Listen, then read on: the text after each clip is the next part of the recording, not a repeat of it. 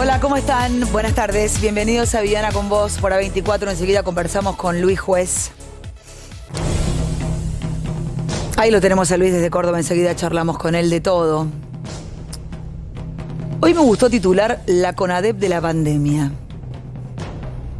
¿Se acuerdan cuando, mira, ahí los tengo, Daddy Brieva y Mempo Giardinelli pedían la CONADEP del periodismo?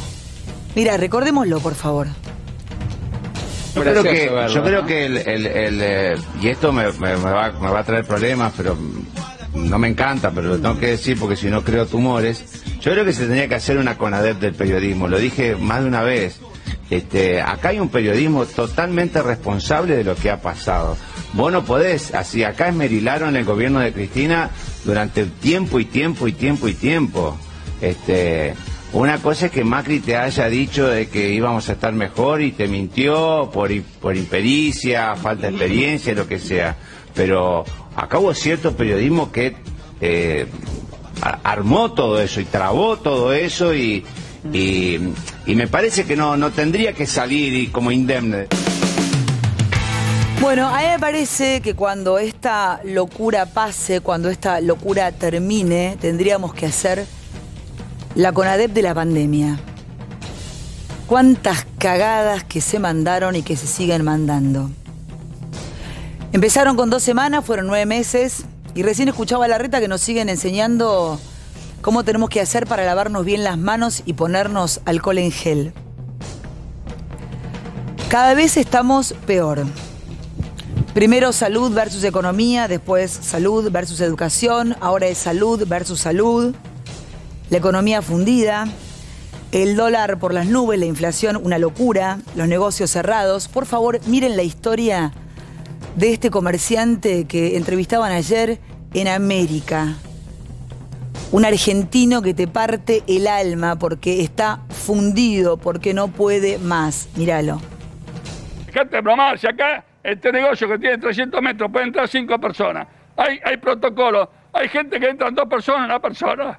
Están locos con lo que le dicen a nosotros. No, pues no saben un carajo lo que le dicen al presidente, cómo tenemos que atender en el negocio. Nosotros no entra la gente a comprar. Este es el gran problema que hay. Entonces, a nosotros las pymes, todo el mundo habla de las pymes y no nos ayuda nadie. Es una vergüenza. Es una vergüenza. Y la gente está cobrando sueldos en el gobierno y está en su casa rascándose las pelotas. Y yo que soy jubilado cobro 20 lucas por mes. ¿Y cómo crees que haga? No trabaje. Que rebaja impositiva. Nos manda la moratoria con 3% y medio de interés. ¿Cómo voy a pagar moratoria si no vendo? ¿Cómo crees que pague una moratoria? ¿Qué generosos son con la guita de los demás? ¿Cómo un Estado con una pandemia cobra intereses? Vamos a tener que salir a la clase media, San Quilombo, para que nos paguen a nosotros. Este es el problema que hay. Están buscando eso. Que nosotros no- no- nos rebelemos y sacamos la calle a San Quilombo. Y es es una vergüenza. Y la gente está desesperada, mis empleados no saben cómo voy a hacer. Yo no vengo eh, con una caja en el bolsillo. Yo vengo con una crisis, ustedes me, me conocen. Cerré la avenida Córdoba, cerré Gurruchaga, cerré Mar del Plata, cerré un montón de locales. Y estos hijos de puta que se llevaron toda la plata, me la vienen a cobrar nosotros. Esto es una vergüenza. Esto es lo que pasa. Se la agarran con los comerciantes y las pymes. Y hablan de las pymes, los economistas, estos pelotudos que no hablan un carajo. Y le dicen al presidente lo que es una pyme. No sé, una pyme es el que se rompe el culo como yo y le pago el sueldo como corresponde. Bueno, la verdad que no hay mucho para agregar cuando uno escucha a este comerciante. ¿Usted escucha a esta gente, presidente, a estos comerciantes? No son mega empresarios, pero le dan de laburar a un montón de gente y además tienen que pagar todas las cuentas, todos los impuestos. Ese hombre no da más. La gente no se va a morir solo de COVID, se va a morir de tristeza o de un ACV o de un paro cardíaco, porque no podés dormir a la noche, de la angustia que te genera no poder pagar tus cuentas. Como contracara de esto, porque este señor es el que le paga a este otro, que vas a ver ahora, que se caga de risa en nuestras caras, con las 15 lucas que cobró en su mano y te hace este video y te lo escupe en la cara, mira. Aguanta Alberto, guacho, nosotros tenemos el IFE, guacho, mirá, Gil. Aguanta Alberto, papá. ¿Eh? ¿Qué me ven acá que Macri ni Macri, ese gato? Presidente, usted cree, presidente y a todos, ¿ustedes creen que esa es la Argentina que nosotros queremos? ¿La Argentina de los planes? Te pido que me lo pongas de nuevo porque me genera un nivel de, de locura impresionante. Ayer mi viejo vino a mi casa a ayudarme con mi hija porque yo no puedo hacer trabajar, eh, mantener mi casa, que yo, y lo paró la cana. Y vive muy cerca de mi casa, y lo paró la cana, mi viejo, un tipo de casi 80 años que salía de mi casa, que laburó toda la vida y se rompió el alma. Y vacunaron 90 presos en Formosa, y el vacunatorio VIP, y la puta madre que los parió a todos. Estamos recalientes con ustedes. Nos encierran porque no tienen nada planificado, porque no saben qué hacer, porque ocupan lugares que no se merecen.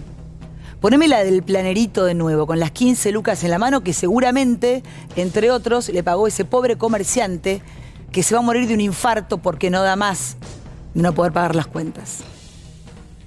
Aguanta Alberto, guacho, nosotros tenemos el IFE, guacho, mirá aquí. Aguanta Alberto, papá. ¿Eh? ¿Qué me ven acá que Macri ni Macri, ese gato? Bueno, queda claro. Em, esta no es la Argentina que nosotros queremos. Queremos una Argentina con trabajo, una Argentina con educación, pero el presidente volvió a decidir por la virtualidad. No es una buena idea cerrar los colegios, porque no es que los van a cerrar por 15 días, los van a cerrar. Los pibes el año pasado no aprendieron un pomo, no aprendieron nada, y este año si siguen así tampoco. Qué quieren seguir echando a los pibes de las escuelas? Yo creo que ese sí es el plan, el único que tienen. Ayer el presidente hacíamos el pase con Luis Novarecio en la previa y se fue en vez de pasear con Dylan por Puerto Madero a ver cómo llegaban las vacunas. Y ayer dábamos el ejemplo como cuando llega el pedido del supermercado a tu casa y vos chequeás si llegó la mercadería que esperabas. Ahí lo vemos. El tipo dijo, me voy en helicóptero, total cuesta 2,50, lo pagan estos boludos, que los vamos a encerrar a todos porque las vacunas nos las afanamos. Y la verdad que a todos nos sorprendió y no tanto este paseo del presidente. ¿Qué tenía que hacer el presidente chequeando las vacunas? Además, presidente, hubo un vacunatorio VIP, se las chorearon todas. No se las afanen más. Mira, con el dedito. Ojalá que nunca más tengamos un vacunatorio VIP. Hablando de eso, la ministra es Bisotti, que cree que nos chupamos el dedo y que no sabemos que fue cómplice de Ginés. Ginés está en la casa, tranquilo, relajado. Esperemos que la justicia actúe. Por eso decía la CONADEP de la pandemia. Hay muchos que van a tener que pedir perdón y mucho más. Este tuit ponía la ministra de Salud anoche. Pónelo, por favor, ahí está. 10 millones de dosis, con el corazón, el bracito, la bandera y la jeringa. Tienen una lógica de fútbol impresentables. ¿Qué festejan? ¿Qué festejaban? Ayer la mayor cantidad de muertos por COVID. Estamos en una tragedia, en una guerra, como dicen, y ustedes están canchereando con las vacunas que llegaron. Dan pena. Y hablando de gente que da pena, esto ayer subía a sus redes el ministro Trota.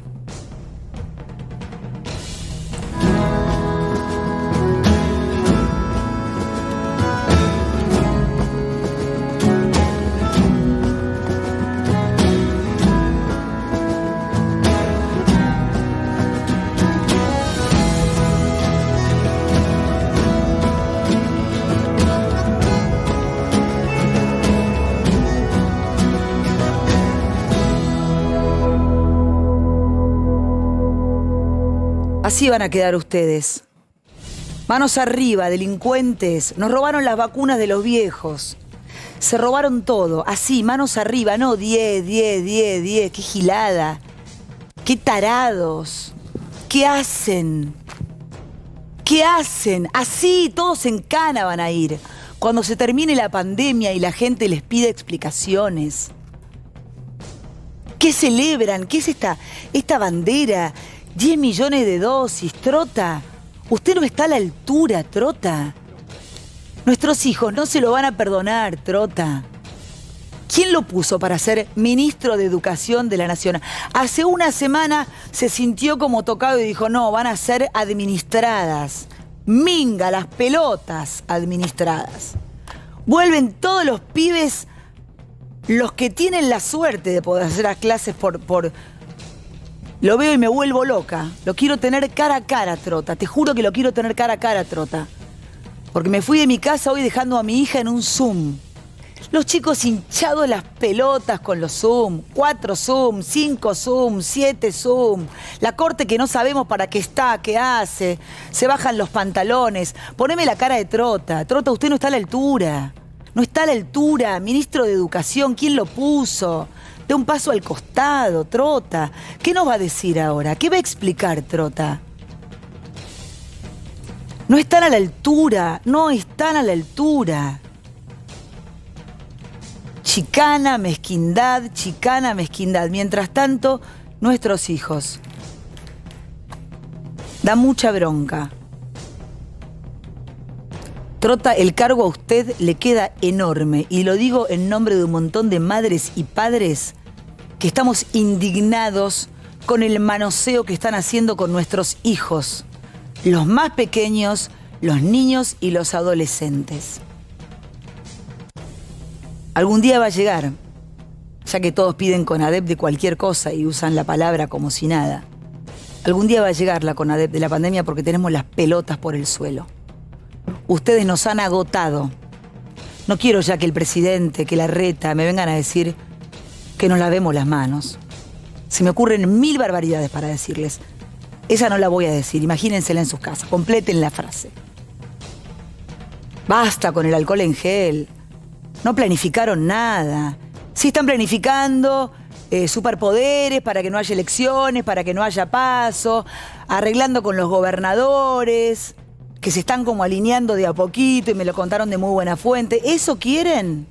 ¿Que no haya elecciones porque tienen miedo de perderlas? Hoy estoy muy enojada con Trota. Le puse un poco de esperanza la semana pasada. Él es padre, él tiene hijos. Lo que están haciendo con los chicos es catastrófico. Vamos a arrancar el programa, vamos a hablar con juez, vamos a hablar con la mesa, porque además los políticos se están comunicando tan mal que los periodistas, depende igual qué canal mires, tenemos que explicarte lo que nos quisieron decir. Porque en el fondo no te dicen nada. Te dicen que te guardes, que no vayas a la plaza, que te pongas el barbijo y que te lave las manos. Vamos a arrancar con el tape de Alberto Fernández y los anuncios. El dictado de clases se realizará exclusivamente a distancia. No se puede circular entre las 8 de la noche y las 6 de la mañana del día siguiente. Hay que quedarse en casa a la noche. Se establece suspender actividades sociales en domicilios particulares, reuniones sociales en espacios públicos al aire libre de más de 10 personas. En los próximos días enviaré un proyecto de ley al Congreso de la Nación para que en función de criterios científicos claros y precisos se me faculte como presidente de la Nación y se faculte a los gobernadores y gobernadoras a tomar restricciones y medidas de, cuidado durante esta situación excepcional. Bueno, ya vamos a debatir con nuestro equipo. Este, quiero saludarlo a Luis Juez. Luis, ¿cómo estás? Buenas tardes. Hola, Vivi. ¿Cómo va? Arranqué livianito, ¿viste? Arranqué livianito hoy. Me hace acordar a mi suegra cuando se enculaba. Sí, bueno, no sé, no sé ni cómo sería como No, pero, viste, Luis, uno no se quiere enojar porque no, ni lo vale, pero es nuestra patria, son nuestros hijos. Como que la educación no les importa, que el presidente quiere superpoderes, no sé si se los van a dar, me preocupa, es el país en el que habitamos y la verdad que el tema de la educación es un tema que me preocupa. Pero quiero, antes de empezar a debatir con la mesa y a intercalar con vos, ¿qué pensás de lo que dijo hoy los anuncios del presidente Alberto Fernández? Recién habló también la reta. Yo lo veo al presidente que como ha devaluado tanto su palabra y ha eh, masacrado el poder que le dio la gente en las urnas en menos de un año. En menos de un año. Eh, hoy necesita tener superpoderes. Porque ya él ya tenía poder. La gente le dio el poder para administrarnos durante cuatro años. Pero él lo destrozó, él, eh. no, no fue Canosa, no fue Luis Juez, no fue tu mesa, no fueron los periodistas. Él, él demolió el poder. Lo demolió su autoridad, la destruyó, la, la mancilló como no pudo ningún opositor. Mira que a mí me encanta darle con un caño, pero te digo que él se encargó de destruir su propia autoridad y ahora la quiere reconstruir con superpoderes. Hace 15 meses, viejo, que estamos en pandemia. Si llegamos hasta acá eh, sin superpoderes, no necesita superpoderes. Salvo que tenga algo escondido y no se anime a decirlo. Porque, a ver, Vivi, y, no quiero agregar nada porque... Las elecciones, por ejemplo. sí, por ejemplo. Pero, pero ¿sabes? Cuando vos le perdiste la fe a un tipo, cuando ya no le crees, aun cuando te jure por, por, por la vida de sus hijos, vos decís, loco, pero ¿sabes qué? No me diga ahora y me haga, como decía vos, la propaganda con los 10 millones. 10 millones de vacunas me prometiste el, 30 de, diciembre que iban a estar puestas en el brazo de los argentinos, no que iban a llegar. Te, dimos, te dimos todo el poder para que contratara todos los laboratorios. Hasta el día de hoy no sabemos qué pasó con los laboratorios, cuál fue el negocio, cuál fue la propuesta que el gobierno le hizo que espantó, por ejemplo, Pfizer. Y yo no estoy promoviendo ninguna industria americana pero es cierto que llegaron nada más que 10 millones de vacunas, cuando tendríamos que tener 70, 80 millones para tener las dos dosis eh, todos los argentinos. Eh, no merecemos saber qué pasó con Pfizer y con Ginés, nos lo merecemos. Por eso hablábamos en el comienzo de eso. así, perdón Luis, es tan así lo que decís, que solo, hace 15 días solamente el 8% de la sociedad creía que realmente la cuarentena que acaba de terminar, digamos, la fase que acaba de terminar iba a durar 15 días, que es lo que el presidente había permitido. Solamente 8%, es decir, ni siquiera el 33% que los vota duro, ¿entendés? Ni su propio público duro. Ahora te pregunto a vos, como político, ahora que Alberto se cayó 40 puntos de imagen positiva, que está en la lona, que lo sostiene solamente el público más duro de Cristina, ahora que no tiene nada para perder, ¿No es el momento propicio para revelar una identidad que tenga que ver con dejar de maquillarle el dolor a la opinión pública, relacionarse con el otro como si fuera adulto y generar un lazo de otro tipo que no tiene que ver con el paternalismo y con, los rasgos de identidad que vos mostrabas que Alberto llevó adelante hasta ahora? Decir que generar una relación, ¿quién? ¿Alberto con el pueblo o.? Alberto con el pueblo, una relación más madura. Y, pero no, pero si él ha cultivado el cinismo y la hipocresía, es muy difícil que ese tipo, es muy patológico lo que le pasa a él, es muy difícil, yo no sé si se da cuenta él de, de, de, lo, de lo que él ha mancillado su propia autoridad. Pero me parece que le estamos, le estamos eh, Luis, le estamos dando como mucho valor a alguien que vos mismo estás diciendo que devaluó la palabra y yo coincido en ese sentido, absolutamente, más allá de su discurso inaugural. Yo lo que veo es el problema hacia futuro, porque es la figura de Fernández. Yo no sé cuánto más podrá tirar el rollo. Ahora, ¿no convendría mirarlo más estructuralmente esto, más sistémicamente y más ustedes la oposición, porque tampoco surgen alternativas de la oposición globalmente hablando, ¿eh? globalmente hablando. Pero, pero Carlos, eh, ¿Qué quiere que te diga, viejo? Eh, este es el presidente que tenemos y nosotros queremos que llegue el 10 de diciembre del 2023. Nosotros no vamos a hacer nada, no vamos a hacer marcha, no vamos a piquetear, no vamos a cortar calle. Este es el presidente que tenemos. Lo queremos con autoridad, lo queremos con autocrítica, lo queremos con humildad, lo queremos con racionalidad. Yo lo quiero, lo quiero sano, inteligente, vivo, astuto. No esta, esta, esta cosa devaluada. Recién Viviana decía, eh, te quedó grande el saco trota. Le quedó grande a un montón de ministros. A un montón de pibes que creen que gobernar esta Argentina es un trámite, loco, no es un trámite. Vamos a decir la verdad. tenés que estudiar, vamos a decir la verdad. Vamos a decir la verdad entera. A Trota lo puso su patrón, que se llama Víctor Santamaría, secretario general de un gremio que hoy adquirió una radio más para su grupo editorial amigo del presidente, manejando el PJ en connivencia con el PRO durante muchos años, digo, para que el público sepa toda la historia de, estos personajes. Trota no está ni para leer el UPA. Porque si vos me hablás de la Puigros que se tuvo que ir, yo disiento con la Puigros. Absolutamente tenemos ideas distintas. Pero sabe lo que es la educación. A este ministro le vi a ofrendar a, a un pedagogo que murió, Paulo Freire, sin ni siquiera debe saber quién es Paulo Freire. Entonces estamos viviendo una simulación todos. Bueno, pero no, no, la responsabilidad no es la misma para vos, para Viviana, para mí, que la que tiene el presidente. Este Trota hace 15 días atrás, eh, la noticia que trascendía es que había pedido su renuncia, que se iba por vergüenza. Dije, bueno, por fin, en, 15, 16 meses, el primer gesto de honorabilidad en un funcionario de la gestión de, Fernández. No, nada, todo una mentira. Una mentira, el tipo eh, digo, digo Trota porque te puedo decir jefe de gabinete que no fue eh, a contarnos nada en el medio de la pandemia donde vos necesitas un jefe de gabinete que vaya y te explique y que por ahí lo traduzca el presidente y diga, che, no, el presidente no fue, no quiere poner la cara, eh, es un barra brava del Twitter, ¿viste? Entonces, yo, yo te digo, Carlos, con todo respeto, yo coincido con vos, pero lo cierto y lo concreto, quien pone y quien saca a la gente es el presidente, no es Viviana, ni vos, ni yo.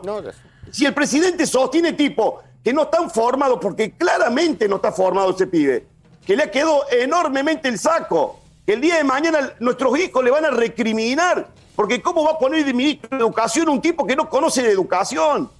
Entonces, eh, eh, yo, no me voy a cargar sobre el hombro la mochila de los opositores, yo te voy a hablar de primera persona, yo me hago cargo de lo que digo y muchas veces... Eh, me termino lamentando de lo que digo, porque digo, pucha, es que al fin y al cabo tendría que ser un poco más tranquilo, más mesurado para explicar las cosas.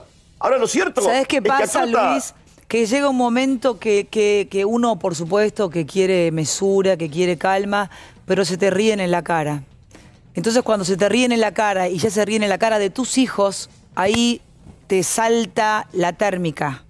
Porque de verdad están tirando de la cuerda con el tema de la educación, el año pasado fue un año perdido para los chicos. Pero, o sea, chicos con problemas de depresión, con montones de cosas que todavía no estamos viendo. Y realmente lo, reconocimos la semana pasada, bien por Trota, se le ganó la pulsera al presidente, no le ganó nada. Encima de no estar a la altura, no pudo con eso, no puede con nada. No le podemos permitir a esta gente de verdad que no les importe la educación de los argentinos. No podemos permitirlo. Uno le pone mesura hasta que uno tiene que decir, bueno, si vamos a estar, porque una cosa es la mesura y otra cosa es la tibieza. Yo obviamente tibia no soy y no le voy a bancar a Trota porque seguramente lo van a entrevistar, le van a chupar las medias, le van a decir que es un genio, él va a decir que son solo por 15 días. Mentira, ya sabemos que es mentira. Si ya lo pasamos eran tres semanas, ahora son tres semanas. Viene el frío, viene la segunda, viene la tercera ola. Los pibes se van a quedar en casa, quieren pibes burros, no lo podemos permitir, no podemos ser tibios, aunque nos cueste el laburo. Bueno, así hay que empezar a defender la patria, aunque te cueste algo, porque ellos no, no transan nada. Entonces nosotros, eh, bueno, empecemos a decir, me la juego, que me rajen de mi laburo, que me rajen del otro lado. No importa, lo importante es que no seamos tibios y que no le tengamos que mentir a la gente. Yo no puedo decir que está bien lo que hizo Trota. Y no solo porque soy madre, porque lo haría igual. Pero Trota no puede decir que está bien lo que hizo él si tiene otra opinión respecto a lo que está pasando. No solo no podés vos, digamos, él está en un proceso de incoherencia, tendría que estar volando por el aire porque ya lo desautorizaron dos veces. Y claro, y la reta además, vamos a ver lo que decía la reta y lo compartimos también con vos, Luis, porque ya la verdad que la, telenovela de Trota, con Acuña, con la corte... terminamos, estamos estando condenados a tres semanas Estamos condenados. La frase es estamos condenados. Pero digo, la verdad, estamos... y no al éxito. no, estamos condenados al fracaso. a otras tres pues, semanas de lo mismo. Sí, por eso. De lo mismo, porque la el día de la marmota, todo la presencialidad no, no es eh, un lugar, o, la escuela no es un lugar donde se produzca un mayor contagio que en el resto de las actividades. Empezamos lo mismo, son eh, los mismos hechos que vivimos hace tres semanas atrás. Por eso, vamos a ver lo que decía, perdón, vemos lo que, lo que decía la reta, lo compartimos con Luis, Dragani tiene información, porque estamos de verdad jugando con la educación, ya jugaron con la economía, recién veíamos en el arranque ese comerciante arruinado, después ves también esa situación tan fuerte del pibe eh, mostrando las 15 lucas del subsidio, ves al tipo que le va a dar un infarto porque no puede pagar las cuentas, eh, ves todo lo que te van a restringir, lo que te van a sacar y es porque no tienen un plan. Y es porque no tienen un plan claro. Y la verdad que ya la educación era el límite, como también lo es la salud versus la salud si vos tenés que elegir a quién le pones un respirador, porque tampoco consiguieron el oxígeno, las camas, los respiradores. Flaco, ¿cuánto tiempo más? Vamos a ver lo que decía la red. Para la escuela inicial, o sea, el jardín, el preescolar, para la primaria y para todo lo que es la educación especial, vamos a mantener la presencialidad todos los días como hasta hoy. En el caso de la escuela secundaria van a tener presencialidad, pero de manera bimodal, alternando entre clases virtuales y clases presenciales. Bueno, tiene información Dragani, pero de verdad, eh, seguimos conversando con Luis, con la mesa, ahora quiero que también Edu Bataglia, porque tenemos que además contarle a la gente que nos está mirando de qué se trata esto que anunciaron, porque yo hoy lo miré un rato en el camarín a la reta, porque la verdad que no es con el presidente ni con Trota, ya es con todos, es como, todos te inflaron, es como con todos. Entonces lo primero que dicen es lávense las manos, y vos pensás, lavate, ¿no? Y vos escucháis y pónganse alcohol, decís, flaco, tengo alcohol en la cartera, tengo alcohol en la mochila, tengo alcohol en gel en el baño, tengo alcohol en gel, se, tengo, se me van secando las manos, pues se me va cortando la piel de tanto alcohol que me pongo y capaz que en poco tiempo te saben que el alcohol no servía para nada. Pero tenemos información de lo que dijo la reta de la corte y qué va a pasar con las presenciales en la ciudad. Bueno, por estas horas lo que debe estar analizando Horacio Rodríguez Larreta es si interpone un nuevo amparo. Todos se preguntarán, pero si ya hay un amparo interpuesto de hace 15 días ante la Corte que la Corte aún no resolvió. El punto central es que ese amparo sirvió para ese DNU, pero no para el de hoy. Motivo por el cual, si el gobierno de la ciudad de Buenos Aires quiere la presencialidad en los colegios, debe interponer una nueva acción de amparo para solicitar a la Corte que decrete la inconstitucionalidad de este nuevo DNU. Eh, perdón, Dragani, vos lo explicás perfecto y además jueces abogado. ¿Le podemos contar a la gente que está en la casa fácil por qué cuernos los pibes no pueden ir de manera presencial o por qué la Corte no actúa rap. ¿Qué espera la Corte, Luis? Porque la verdad es que ya no confiamos ni en la justicia. ¿Viste? Eh, me voy a calmar. Es como no puedo con mi genio. Igual, Viviana, no puedo con mi genio. La corte, Otro amparo, y la corte, y no sé cuál. Dale, flaco, decime si hay clases o no hay clases, y por qué. Ponete firme. Son 15 días, te lo respeto, pero después no te creo. Hoy los chicos, el lunes, no van a clases, es la virtualidad, salvo que el jefe del gobierno de la ciudad de Buenos Aires interponga un nuevo amparo con una medida cautelar y le decreten lo que ocurrió en la oportunidad anterior, que haya un juez que diga que los chicos tienen que ir al colegio. La pregunta, Dragani, es, ¿el lunes llevamos a los chicos al colegio, sí o no? No, por estas horas, bueno. Dependiendo de si renueva el amparo o no. Pero, Luis, perdón, Luis, la gente no puede estar esperando en su casa. Hoy es viernes, por lo menos el anuncio lo hizo a la mañana, yo me enteré por Bataglia en el grupo, que, que yo esperaba que iba a hablar a la tarde. Bueno, habló a la mañana, perfecto. Las personas que están en la casa, te juro que te lo digo de verdad porque estoy leyendo lo que dicen, no saben si el lunes van con los pibes o no al colegio. No se puede vivir así. No. Tenés la vida desorganizada. Ellos no te lo... Tienen tiempo para pensar y se dicen, bueno, estamos viendo, ir a la corte de nuevo, pedirle a Hayton de Nolasco. No, chicos, díganos, no podemos ir con los pibes al colegio el lunes. Hoy no. Hoy no. Hoy no, salvo que Horacio Rodríguez Larreta interponga una nueva acción de amparo, que supongo que lo debe estar evaluando, para que le decrete una nueva medida cautelar y lograr la presencialidad. De en aquella ocasión, cuando eh, se volvió a la presencialidad eh, o, se desestimó lo que dijo el presidente, fue por un amparo que presentaron una agrupación de padres. Así es. No fue, por, el recurso del gobierno porteño. Pero recordemos que no fue la Corte quien resolvió eso, sino justamente un, juzgado de la ciudad de Buenos Aires. Así es. Así es. Y después hubo un juez federal eh, que resolvió, obviamente, por encima de esa resolución y sin embargo, eh, Horacio Rodríguez Larreta desoyó justamente... Pero para, para, para. Oye, para estaba en el camarín y capaz que me pueden ayudar. Yo entendí en el camarín que el lunes había clases presenciales, o me equivoco. Pero eso es lo que define, no es lo que estás diciendo. Eso es lo que define la reta como, jefe, como jefe de gobierno de la ciudad. Es un teleteatro de cuarta. No, es un teleteatro de cuarta. de, cuarta. esto, de cuarta. Esto daña la política, daña, la, la moral, la moral, todo. Escuchaste, Luis, él dijo que el lunes que se puede ir al colegio, pero ahora Dragani está contando que, que no. Entonces yo pienso en la gente que está en la casa, ¿viste? Que ya te juro no sabés qué hacer con los chicos, porque si tenés que salir a laburar, ¿quién te lo cuida? la, persona que te ayuda se tiene que ir más temprano. A mí me llama la atención, es un... que la reta dice, el jardín vuelve, La primaria vuelve. la primaria vuelve y, la también secundaria, la, educación especial. Y, la y también. Y la secundaria un poco sí y un poco Bimodal. Es como si entregara a un peón. ¿Para qué? ¿Qué sentido tiene dar medio pasito para atrás? Si la sostiene, que la sostenga toda. ¿Por qué no la sostiene toda, Luis? Como dice Jacobe.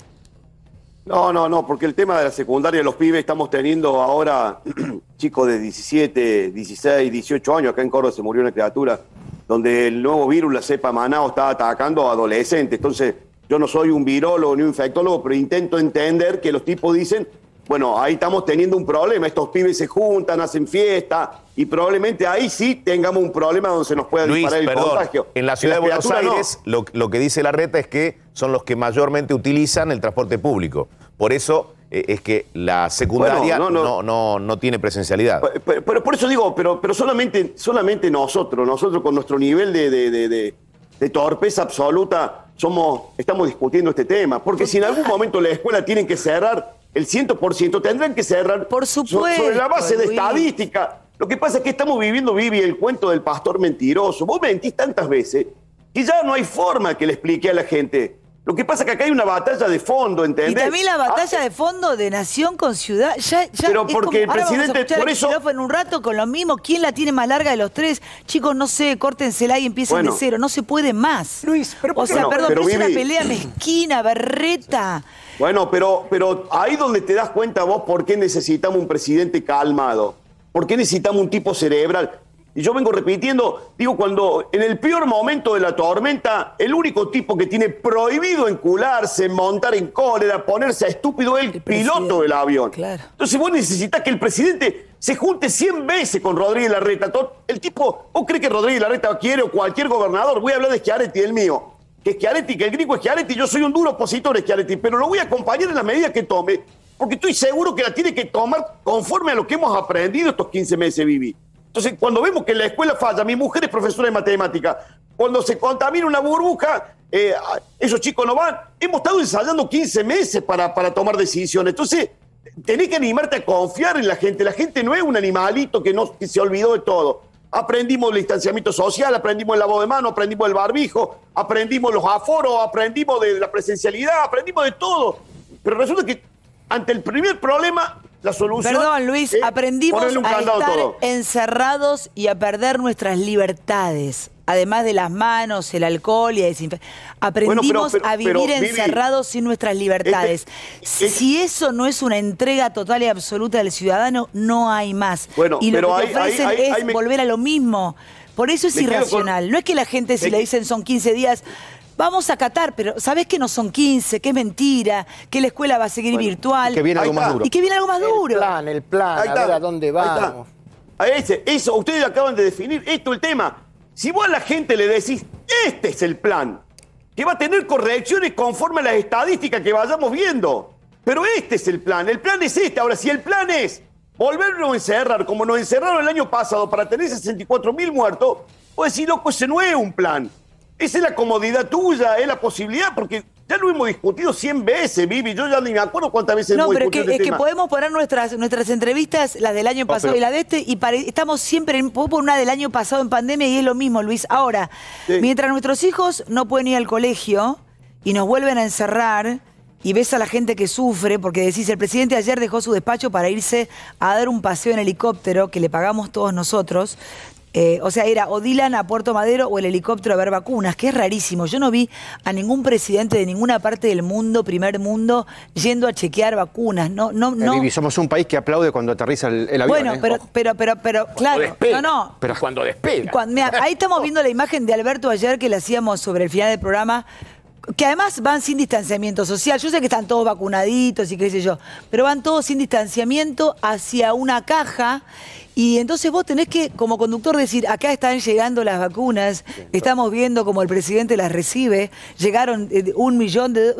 ¿Qué digo? Sería una crónica hace 40 años. Decís, ¿qué digo? Y bueno, ahí va, va el tipo, va la... Es una cosa absurda. Pero además, mientras nuestros hijos no tienen claro qué pasa el lunes, digo, poneme los paños eh, de todos los días, que son las marchas, porque a los que salen a protestar no les dicen, porque una marcha, por supuesto, ayer lo decía Dragani, es legal, perfecto, el derecho a la... a la, protesta. Perfecto.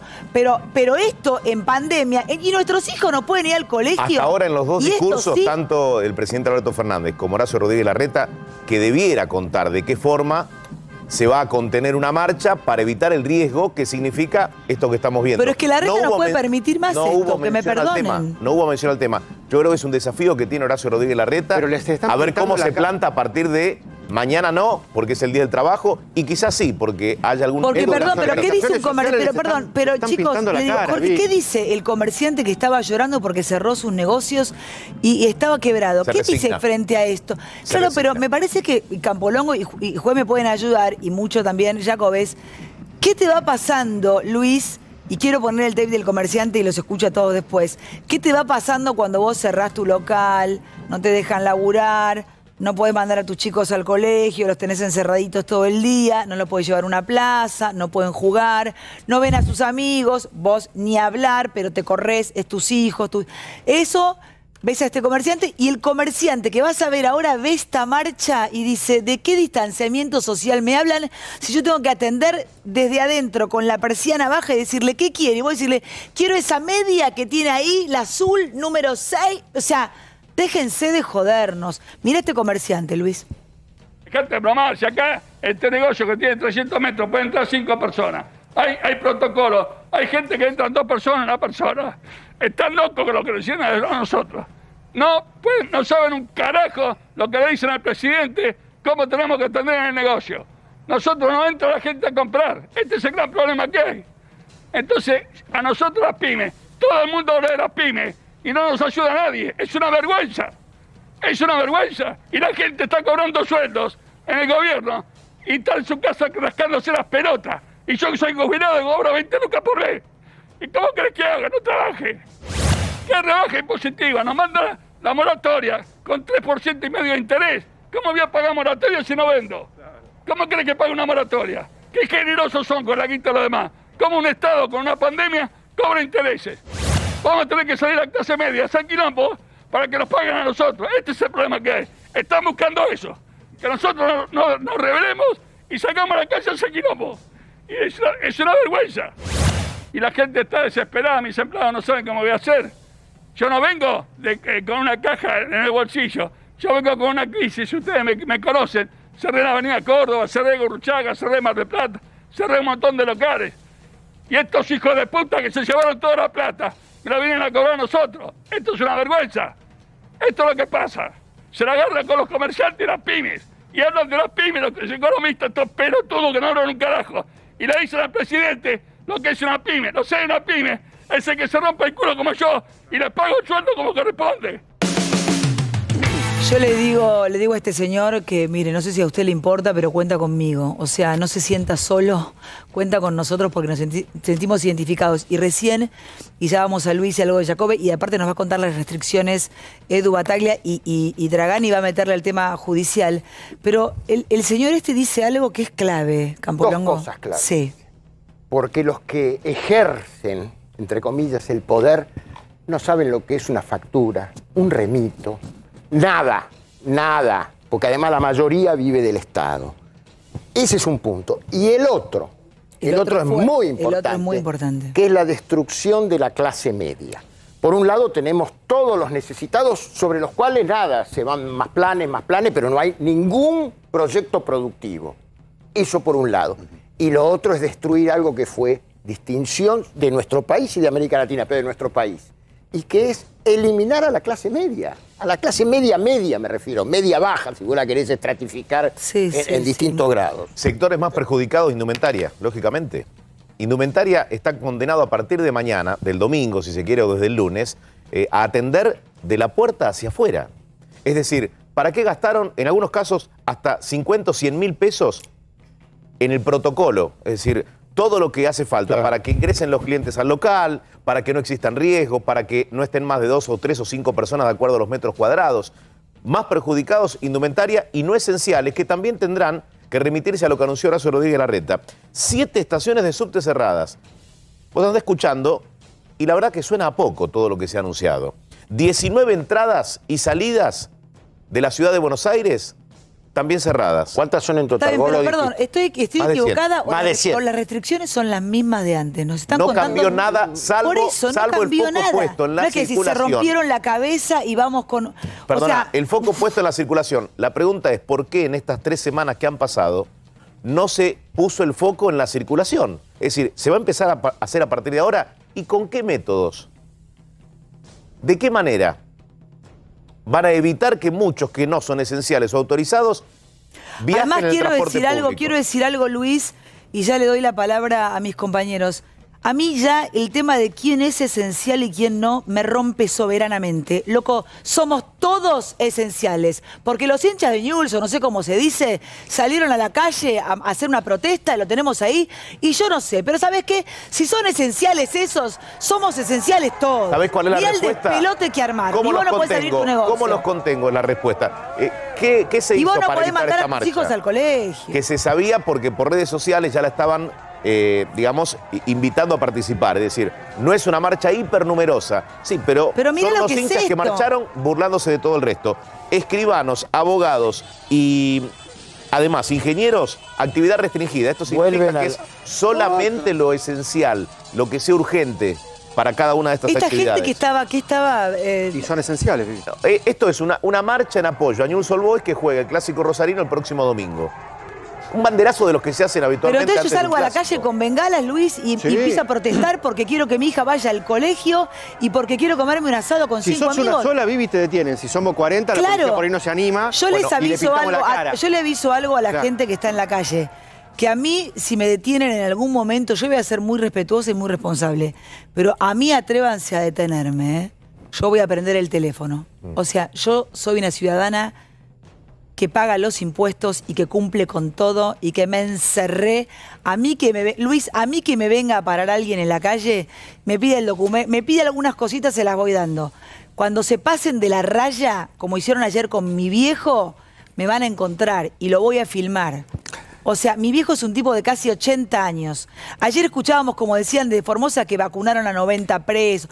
Mi viejo que me ayuda, que laburó toda la vida, se rompió el alma, me lo para la cana a las 8 y media, 9 de la noche, ¿entendés? Como si fuera un delincuente, que casi se lo quieren llevar detenido. Viviana hoy Santiago Cafiero, a un tipo que está ayudando a la hija laburando. En Radio La Red dijo, Perdón, vos te podés ir a comprar las casas, no, ¿eh? la, comida que vas con las empanadas y te preguntan a dónde va. A mi casa, flaco, tengo una docena de empanadas de carne para morfar porque acabo de llegar de laburar y, y, y, dejás a los hinchas de este club hacer semejante despelote y mi, hija no va al colegio. 100 demorados. Es una locura. Pero que ya fueron liberados, ¿no? Demorados porque lógicamente. Ah, demorados fueron. Sí, detenidos, pero en realidad son demorados. ¿Y esto por qué nadie lo puede frenar? Porque esto no se, porque, ¿Cómo se llega a esto? Eh, el Estado argentino es miope incluso, Vivi, es miope incluso de la cantidad de gente que se mueve todos los días en transporte que es clandestino, que no es público de pasajeros, que es clandestino. Y yo siempre digo lo mismo, eh, te hacen cagar de risa cuando intentan amenazar respecto de que van a poder controlar todo el territorio de la ciudad de Buenos Aires y de la provincia de Buenos Aires. Bueno, pero es como cuando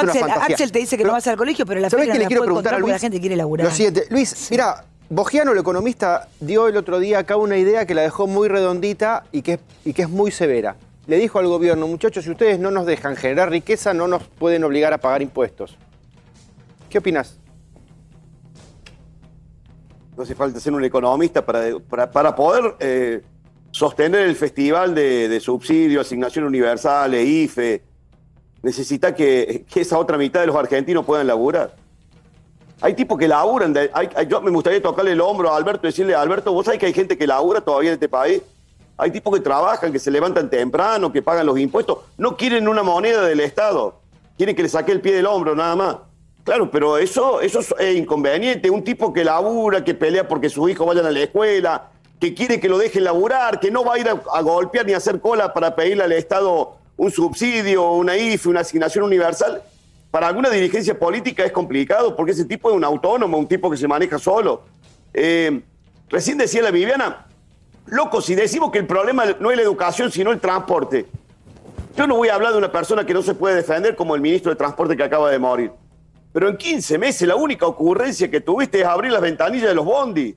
No pudiste planificar un plan de transporte que, eh, sabiendo que venía la segunda ola, que nos permitiera saber que si ahí tenemos el mayor foco de contagio, bueno, pone cuántas más formaciones, cuántos más vagones para el subte, cuántos más colectivos para... Nada, abrí la ventanilla. Digo, yo me quiero quedar con esa frase, Vivi, porque de todo lo que están diciendo ustedes. me indigné, el, tema, el tema puntual, el tema puntual, esta gente son unos improvisados, no tienen un plan. Porque si vos a la gente, por más reacia que sea, le mostrás un plan Totalmente. serio, la gente se ayorna. Si vos le decís, esto hay que hacer esto, porque con esto vamos a tener este resultado. Ahora, si te, si te choría las vacunas, si querés hacer negocio con los laboratorios, si le mentí a la gente, si le pones las vacunas a los punteros políticos, y ahora la discusión es darle a los sectores sociales para que te sostengan determinadas cuestiones y otras no. Entonces no, le no te podés enojar con la gente. Por eso el presidente no se puede enojar con la gente, porque él mismo ha demolido de una manera terrible su propia credibilidad. Entonces tenemos este problema. Hoy vos lo ves, que los tipos de Newell salen a hacer un banderazo por un clásico y nadie le va a decir nada, pero vos eh, se te ocurre levantar la voz y va detenida por, por, por, por, puntualmente por no acatar la orden de la autoridad. Mira, tenemos esto y tenemos, tenemos en Nordelta, por ejemplo, poneme lo que pasó en Nordelta, que también es una cosa, Edu, lamentable, ¿no? Las picadas en Nordelta, digo, la verdad que uno no, no, no entiende bien qué nos está pasando como sociedad, pero ponelo por favor. Picadas en Nordelta en el medio de la pandemia, mira. No te prendió la cámara, ¿eh? Bien.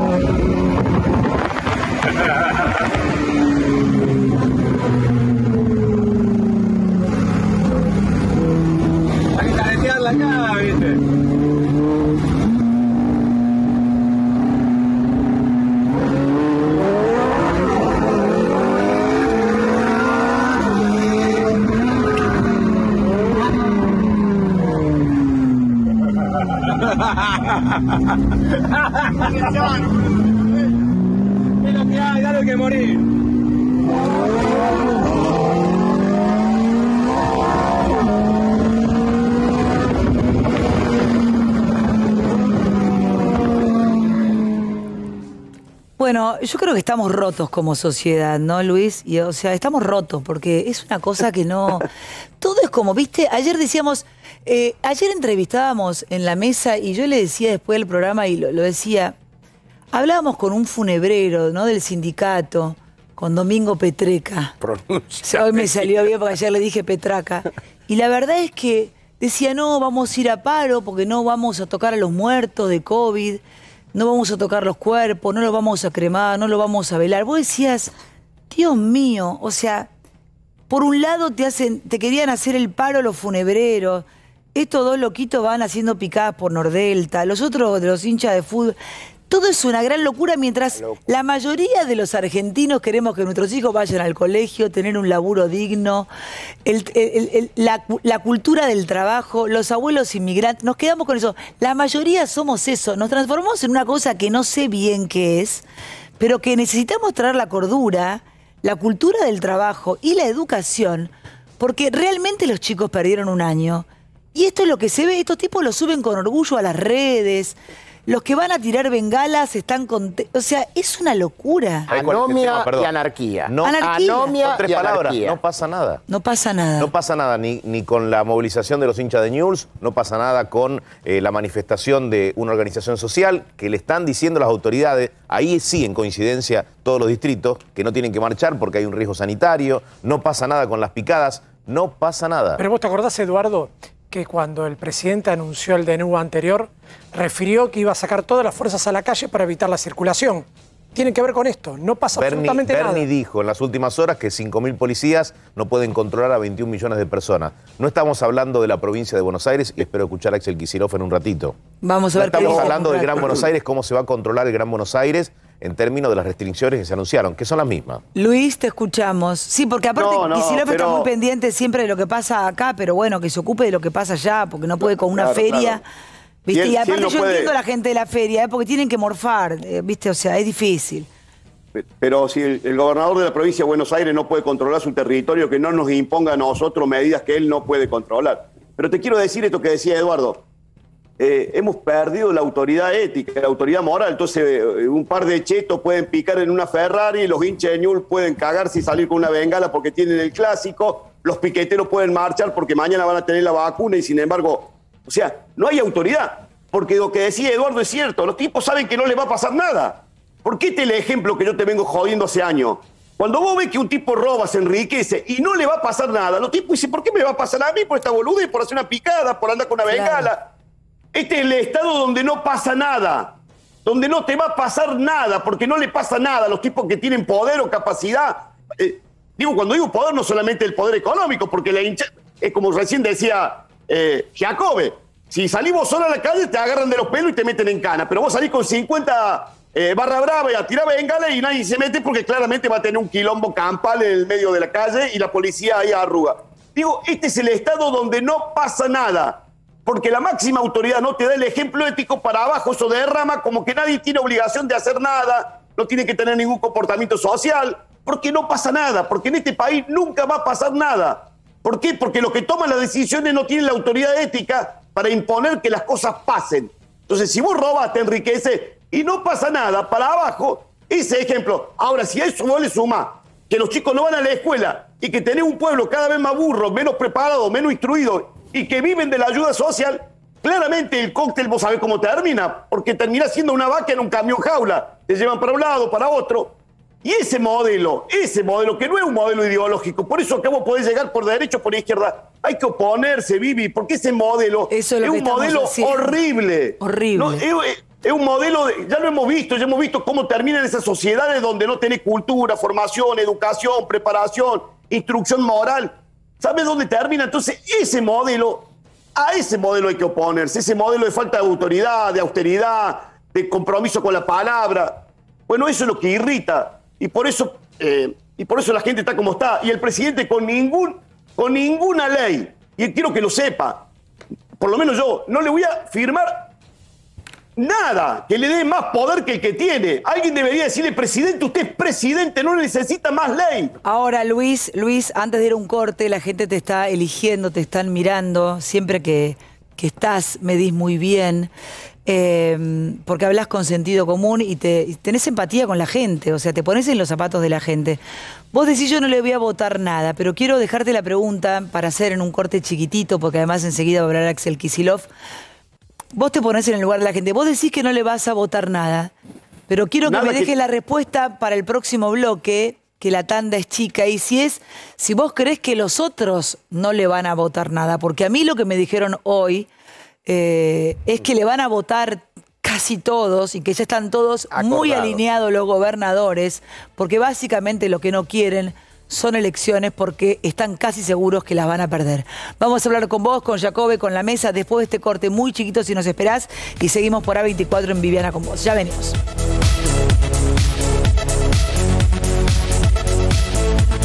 En los próximos días enviaré un proyecto de ley al Congreso de la Nación para que en función de criterios científicos claros y precisos se me faculte como presidente de la Nación y se faculte a los gobernadores y gobernadoras a tomar restricciones y medidas de, cuidado durante esta situación excepcional. Bueno, a ver, volvemos a juez en Córdoba. Enseguida va a hablar Axel Kisilov, lo vamos a ver y lo vamos a debatir. Digo, em, vos decías que no le darías superpoderes al presidente, pero a mí me contaban hoy que ya hay varios gobernadores, es más, tomé nota, que ya hay gobernadores que no tienen ningún problema en darle superpoderes al presidente. Eh, no elecciones, no paso, no, no, digo, no hay una cosa de, ustedes denme los superpoderes. Bueno, ¿para qué los quiere? ¿Por qué hay que darle superpoderes al presidente? ¿Cuáles son los triunfos para pedir? Claro. ¿Cuáles son las medallas que tiene? para que, para... la Constitución para darle superpoderes. además, además. Es así. ¿O no, Luis? Pero por supuesto, aparte, está absolutamente vedado por la Constitución conferir poderes excepcionales. Aparte, estos tipos ni en pedo, te lo digo así para que te quede claro, ni en pedo este tipo, si con el poder que tiene nos chocó la calecita, ni en pedo más poder que el que tiene. Usa bien, administra bien el que tenés.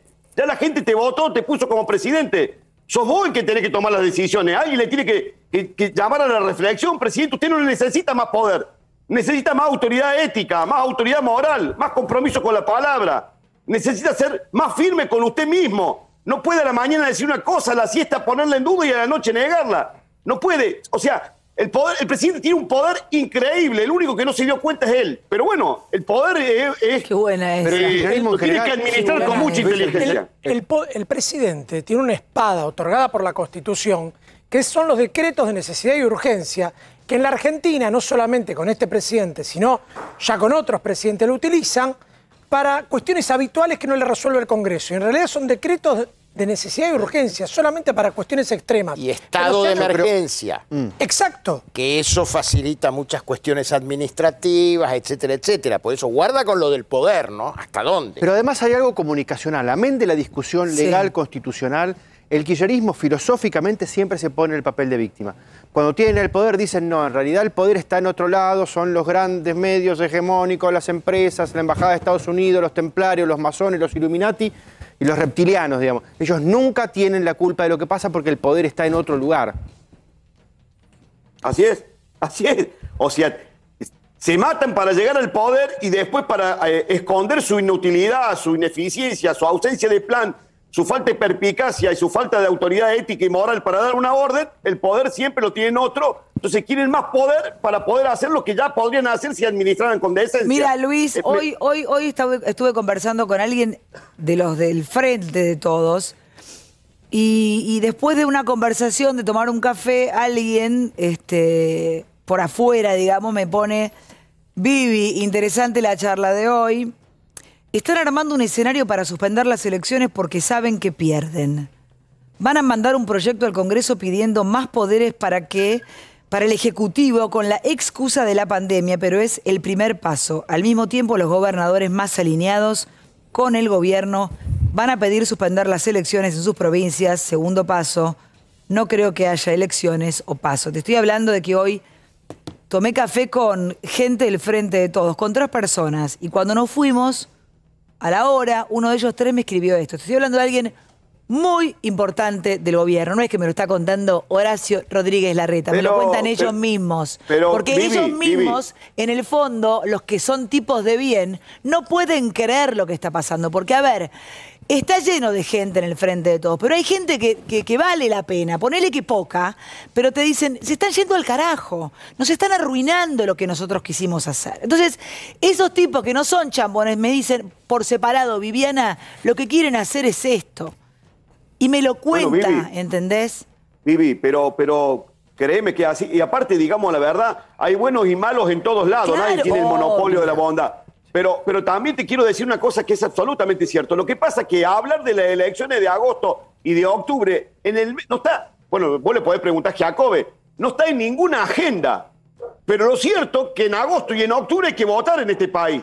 Pero, y la gente para, ¿de qué agenda me habla, Luis? ¿En la agenda de ellos? No en ninguna agenda. no está en la agenda, no están las prioridades de la opinión pública, es cierto, pero cuando vos le preguntás a la gente, tiene una posición tomada si quiere salir a premiar al gobierno o quiere salir a ponerle una cachetada y eso está más o menos 30 60. Me parece que eso es lo que explica por qué algunos, los más autoritarios en el gobierno, están buscando maniobras para retrasar o para cancelar. Ahí tenemos la imagen de Alberto. Decime, Luis. Pero, eso es otra cosa, eso es otra cosa. La gente siente que cuando tenga la oportunidad, ahora la gente tiene problemas, tiene miedo de enfermarse, de contagiarse, de contagiar a un pariente, de agarrar el virus, de perder el laburo, de no recuperar si lo perdió, de perder otro año más escolar el, tema, el tema de la elección claramente es un tema que no está en la agenda de la gente. Sabe que cuando tenga que votar, siente que ha sido defraudado. Pero sí está en la agenda de ellos, Luis, como la justicia Pero sí está en la agenda de ellos. Por eso, por eso Vivi, los tipos, estos tipos no los haga, estos tipos juegan en la mancha con los aviones, son muy ligeros.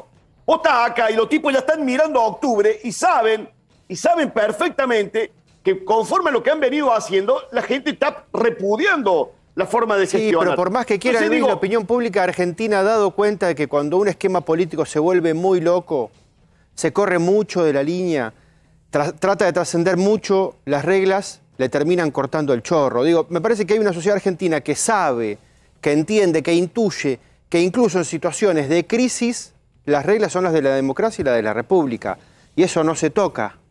Pero, pero sumale a eso, y, comparto con vos, pero sumale a eso un pueblo absolutamente empobrecido, paupérrimo, la mitad de los argentinos bajo la línea de la pobreza y más de 9 millones de argentinos viviendo de un plan donde eh, eh, Alberto se la pasa todos los días aumentando los planes con un criterio electoral eh, eh, de populismo berreta. Mm. Yo digo, no quiero subestimar, pero cuando vos dependés absolutamente de la mano del amo para comer, para vivir, para...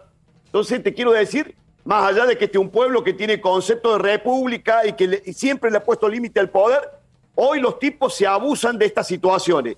saben usar, perdón, saben usar el poder. Porque poneme el, recién estaba leyendo un tuit de Hernán Lombardi que dice Hoy el presidente anunció nuevas medidas. Una vez más se demuestra que la palabra planificación no está en el diccionario del presidente de la Nación, pero sí están los planeros, los planes. O sea, están enfrentando a los argentinos contra los otros argentinos. Porque a mí me da tanta pena el comerciante que cierra como este pobre pibe que va con las 15 lucas y te las regodee, te las tira en la cara diciendo, aguante Alberto, míralo. Aguanta Alberto, guacho, nosotros tenemos el IFE, guacho, mirá aquí. Aguanta Alberto, papá. ¿Eh? Que me ven acá que Macri ni Macri, ese gato. O sea, así estamos hoy. El señor que llora porque le cierran el comercio, el tipo que hace la picada, el, el que hace la marcha, la protesta. Ayer teníamos una marcha de Ademis que no quieren clases presenciales, con una maestra y con un montón de maestros, todos así pegados con carteles que decían, no, las clases presenciales, Luis, eso es una locura. Los maestros, uno pegado cuerpo a cuerpo con el otro, con carteles que dicen, no a las presenciales. Andate a tu casa y hacelo en un Zoom, si no querés presenciales para nuestros hijos. No salgas a la calle a protestar. O sea, incoherencia, pero es argentinos versus argentinos. ¿Cómo termina argentino versus argentino, Campolongo? No hay mucho que pensar. Yo Con una guerra social molecular como estamos. ¿Querés ponerlo más claro? Molecular. Moleculares de pequeños grupos, digamos. No es la guerra civil clásica, lamentablemente. De dos grandes partes. De un ejército que se divide en rojos y blancos, o como fue la guerra civil española, estoy hablando del siglo XX. Pero esto es más, es peor todo esto, mm. que tiene que ver con alguna de las cosas que decía Luis. Cuando no hay gobernabilidad, cuando no hay autoridad, cuando no hay conducción, que por ahí es una palabra fuerte, pero y sobre todo en tiempos de crisis, hay que tener idea para la conducción, no quererse convertir en un solitario de que el Estado se mueva, el Estado soy yo como sale siempre. Sí, por eso se a ver las vacunas que llegaron como si los hubiera comprado él. Vivi, yo digo lo siguiente, Alberto pidiendo más poder da la sensación de que va hacia encerrarse más. Denme más poder para no tener que hablar con nadie. Cuando la opinión pública le está pidiendo lo contrario, le está diciendo, flaco, aquellos con los que vos te llevas mal o que te caen mal, tenés que salir a hablar igual. Ahora, puesto ahí no para Pero perdón, ¿y qué sería, perdón, ¿y qué sería lo democrático? Le pregunto a todos, pero te pregunto a vos, Luis, porque vivimos en democracia y el presidente quiere más poderes que ser presidente. Digo, eh, la Argentina se supone que es un país democrático, pero el presidente que fue votado democráticamente y que ganó en buena ley, quiere más poderes. Eso se llama autoritarismo. Porque si no te alcanza con ser presidente y querés más poderes que ser presidente, ¿qué querés? ¿Ser quién? es lo que te dice Jacobe y tiene toda la razón del mundo. Bien, Jacobe. El presidente, el presidente te dice que quiere más poder porque el que tenía lo licuó, lo bardió. Es como el tipo que fue al casino y se jugó todo. Entonces ahora necesita más poder para, para encerrarse, como dice Jacobe, en sus propias decisiones. Hace 15 días el presidente decía que había tomado una decisión y que no le había consultado a nadie, porque como presidente tenía la facultad de... Claramente fracasaron las decisiones que tomó. ¿y cómo podemos Ahora necesita poder para poder blanquear. ¿Cómo, podemos, se, ¿Cómo se siente el ciudadano que tal vez no votó a este gobierno, o que sí votó a este gobierno, o que es macrista, o que es... No importa. ¿Cómo hace el ciudadano para confiar en que la oposición va a estar a la altura de esta circunstancia? O sea, ¿cómo hacemos para confiar en que la oposición, no importa, es, no es tan amplia, pero que, van a, tirar por la patria, que, que no se van a vender? Porque si uno ya piensa que hay gobernadores alineados y que van a querer entregarle los superpoderes a un presidente votado en democracia, realmente el futuro que uno puede vislumbrar es oscuro. Bueno, pero también ustedes tienen un rol fundamental. Porque si ustedes con la, con la coherencia que están sosteniendo este programa y esta línea editorial... Pero ¿cuánto sostienen, este, cuánto sostienen esto? Estamos jugando la vida todo el tiempo. Pero me parece que estamos en una guerra nosotros los comunicadores. Sin pasarse de la raya, pero con coherencia, diciendo estas cosas. eh, porque, porque también, y lo digo con toda, con toda responsabilidad, también está lo otro que te pone en un lugar incómodo. Che, la tragedia, por supuesto. Vivi, mi mujer es profesora en matemática, va a dar clase, no está vacunada. Vos, sabés lo que nos cuidamos en esta casa. Con tu Pero claramente me dice, cuando veo a los chicos y el año pasado dedícase por su... No aprendieron nada. Nada. Porque si vos tenés vocación docente, querés ir al aula a decirle a los chicos con la tiza en el pizarrón ¿Cómo se hace el teorema? A mirarlos a los ojos, a, mirar a los ojos al otro. ¿Por, qué, te digo esto, Vivi? ¿Por qué te digo esto? Porque si nos sostenemos con coherencia y no nos empiezan a apretar a decir, che, loco, dejen de pelear, porque es fácil meter todo en la misma bolsa. Recién te decía, los buenos y los malos están en todos lados. No tengo ninguna lado hay gente muy buena y muy honorable. No, no tengo. a, ver, a ver, Luis, yo quiero que quede claro porque digamos, a mí me encantaría tener el mejor presidente del mundo, realmente, y más en esta tragedia. O sea, los, los periodistas militantes solo a la gente la llenan de miedo. Ya no sabes qué creerles, qué no creerles. Si te pones en contra de eso porque te indignás, porque estás del lado del pueblo, te dicen negacionista. Tenés que fumarte que te digan mm. que un casino es menos contagioso que un colegio. Tenés que fumarte gente que se recontra vendió y que fueron mercenarios. A ver, Luis, está por hablar Kisilov. Eh, te, cerrame vos así, lo escuchamos a Kisilov. No tengo más tiempo. Sabemos que Gracias, va a ser largo, Luis. Va a ser largo. Gracias, Luis.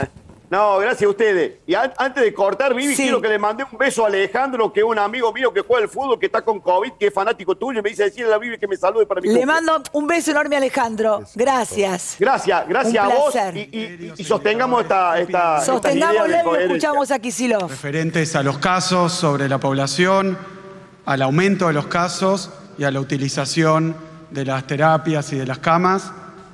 Eh, define de esta manera zonas de riesgo epidemiológico y sanitario altas, bajas, medias y otras zonas a las que define como de alarma sanitaria y epidemiológica.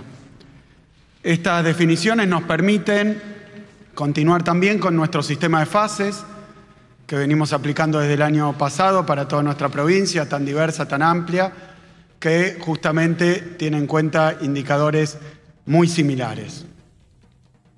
Como muchos escucharon estos días, recomendados por epidemiólogos de muchísimo prestigio, por nuestros especialistas, estuvimos considerando la posibilidad de aplicar mayores cuidados, pero quiero dejar muy claro lo siguiente, la provincia de Buenos Aires va a respetar el DNU del presidente.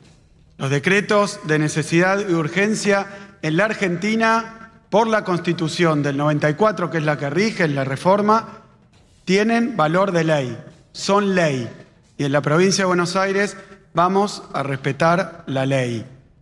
Esto es porque de este modo funcionan las instituciones y la democracia, respetando la ley. El DNU del presidente es ley y lo vamos a respetar. Para colmo, estamos en una pandemia, estamos en una emergencia, no es momento, me parece a mí, de forzar discusiones sobre federalismo, autonomía, menos todavía porque en cuestiones sanitarias la autoridad máxima es el gobierno nacional encabezado por el presidente. Dicho esto, voy a hacer una breve reseña de la situación epidemiológica de la provincia, que no hace otra cosa que reforzar esta conclusión a la que acabo de arribar. Nuevamente, esta segunda ola empezó como la ola anterior, Ciudad de Buenos Aires, luego con Urbano, Gran Buenos Aires, más adelante interior de la provincia e interior del país. Solo que a diferencia de la primera ola lo ha hecho con mucha más velocidad y con mucha más dureza. Fíjense, en la semana del 15 de marzo, en la provincia teníamos cerca de 3.000 casos. Un mes después, el 15 de abril llegábamos a los 12.000 casos promedio. Se cuadruplicó en un mes.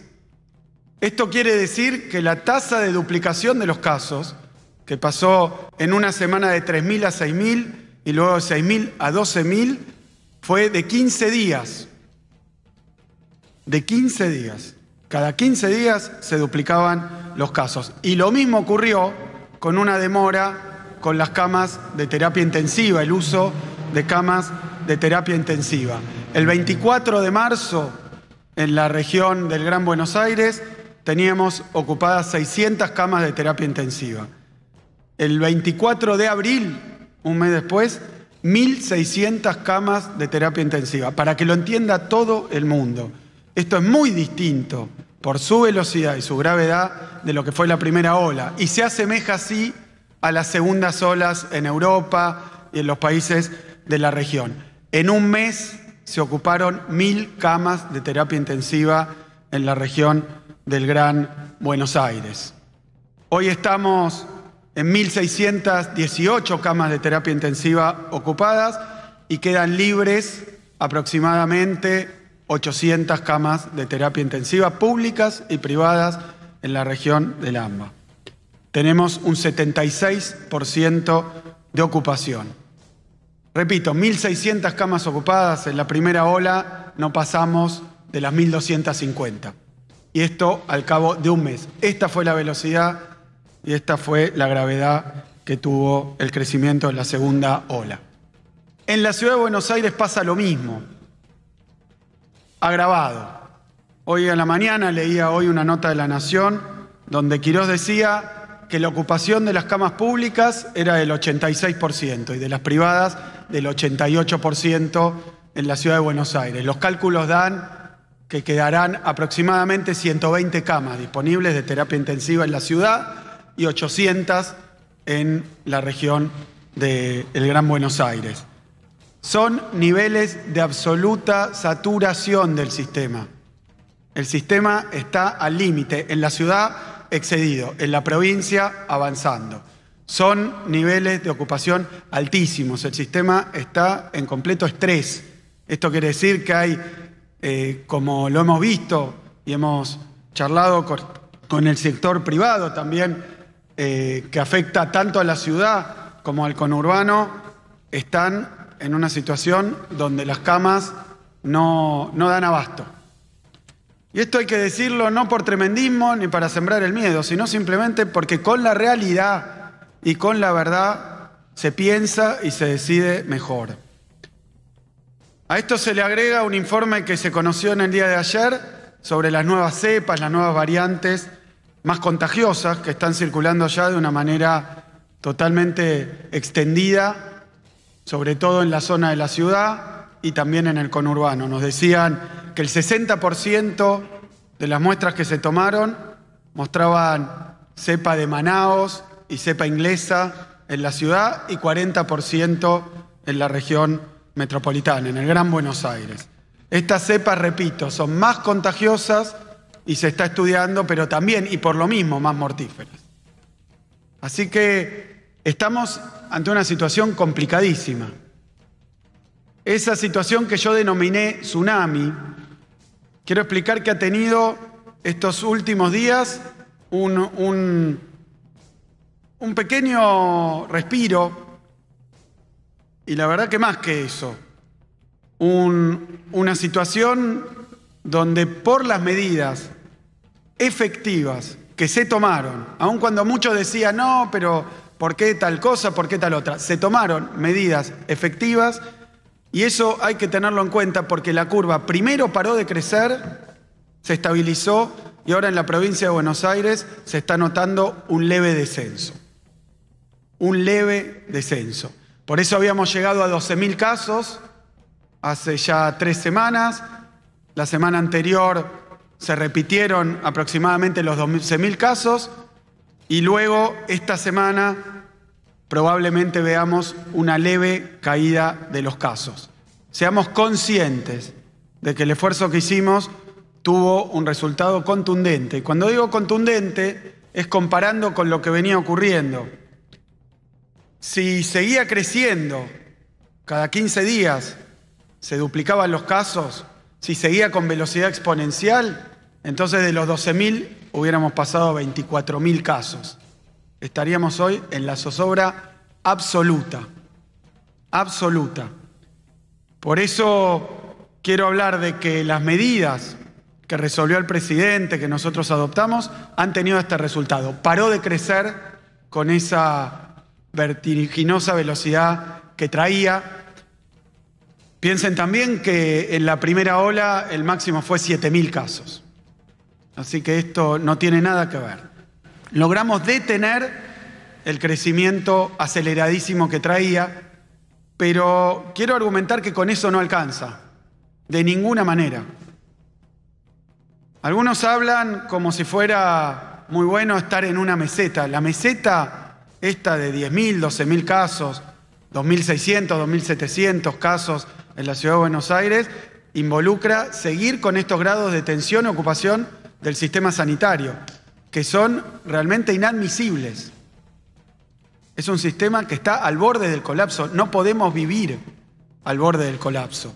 Pero también porque el sistema ese al límite es un sistema que aún no recibió el cambio de temperatura de, las, de la estación invernal.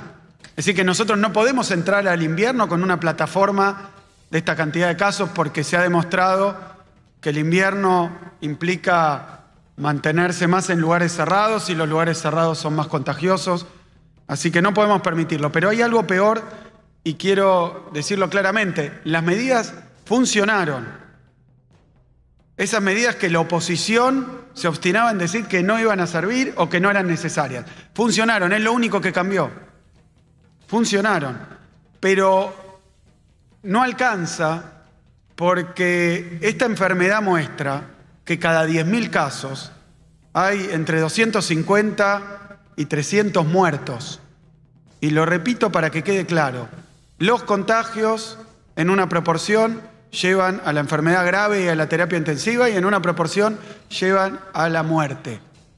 Entonces, conformarnos con estar en los niveles de 10.000 casos en la provincia o 20.000 casos en la nación significa convivir y resignarnos a vivir con cientos de muertos por día.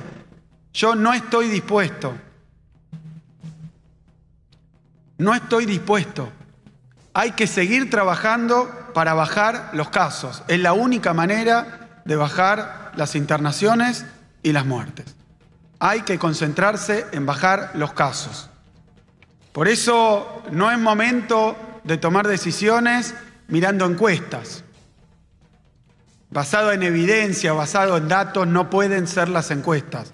Tienen que ser estos grados inadmisibles insostenibles de ocupación de nuestras terapias intensivas, de contagios y de muerte. Esto es lo que nos tiene que guiar en una situación como esta, porque repito, no estamos en campaña electoral, estamos en campaña de cuidados, estamos en campaña de vacunación.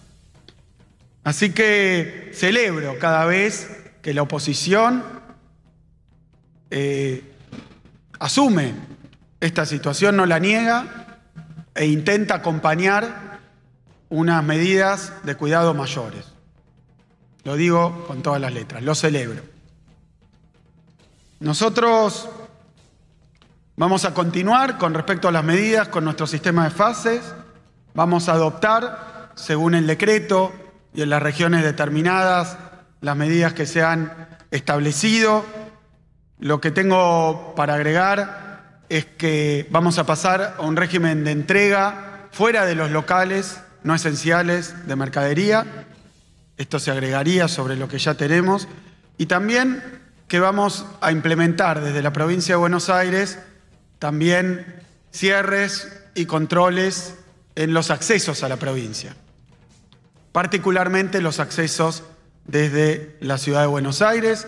Van a tener controles sanitarios, con lo cual hay que respetar los horarios, hay que respetar las normas y vamos a tomar la temperatura y pedir toda la información que sea necesaria cuando quieran entrar a la provincia de Buenos Aires.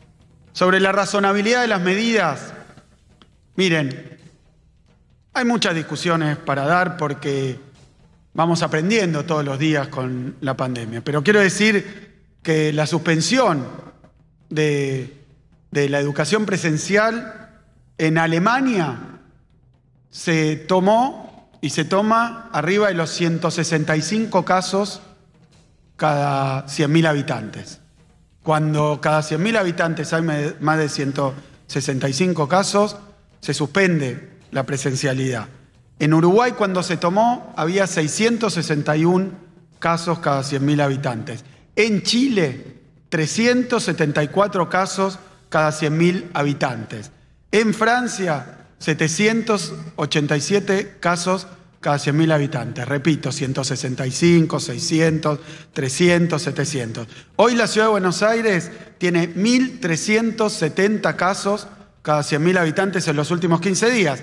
Y en el Gran Buenos Aires, entero, 1.000 casos cada, cada 100.000 habitantes en los últimos 15 días.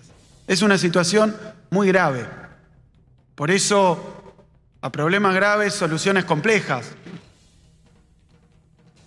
Agrego también que se va a implementar eh, ya definitivamente, ya lo teníamos para algunos casos, el sistema de multas, ya está vigente el decreto, para las multas que tienen que ver con el incumplimiento de las normas dictadas en el marco de la pandemia. La aplicación de multas alcanza hasta 500 sueldos mínimos, es decir, multas hasta 4,3 millones de pesos.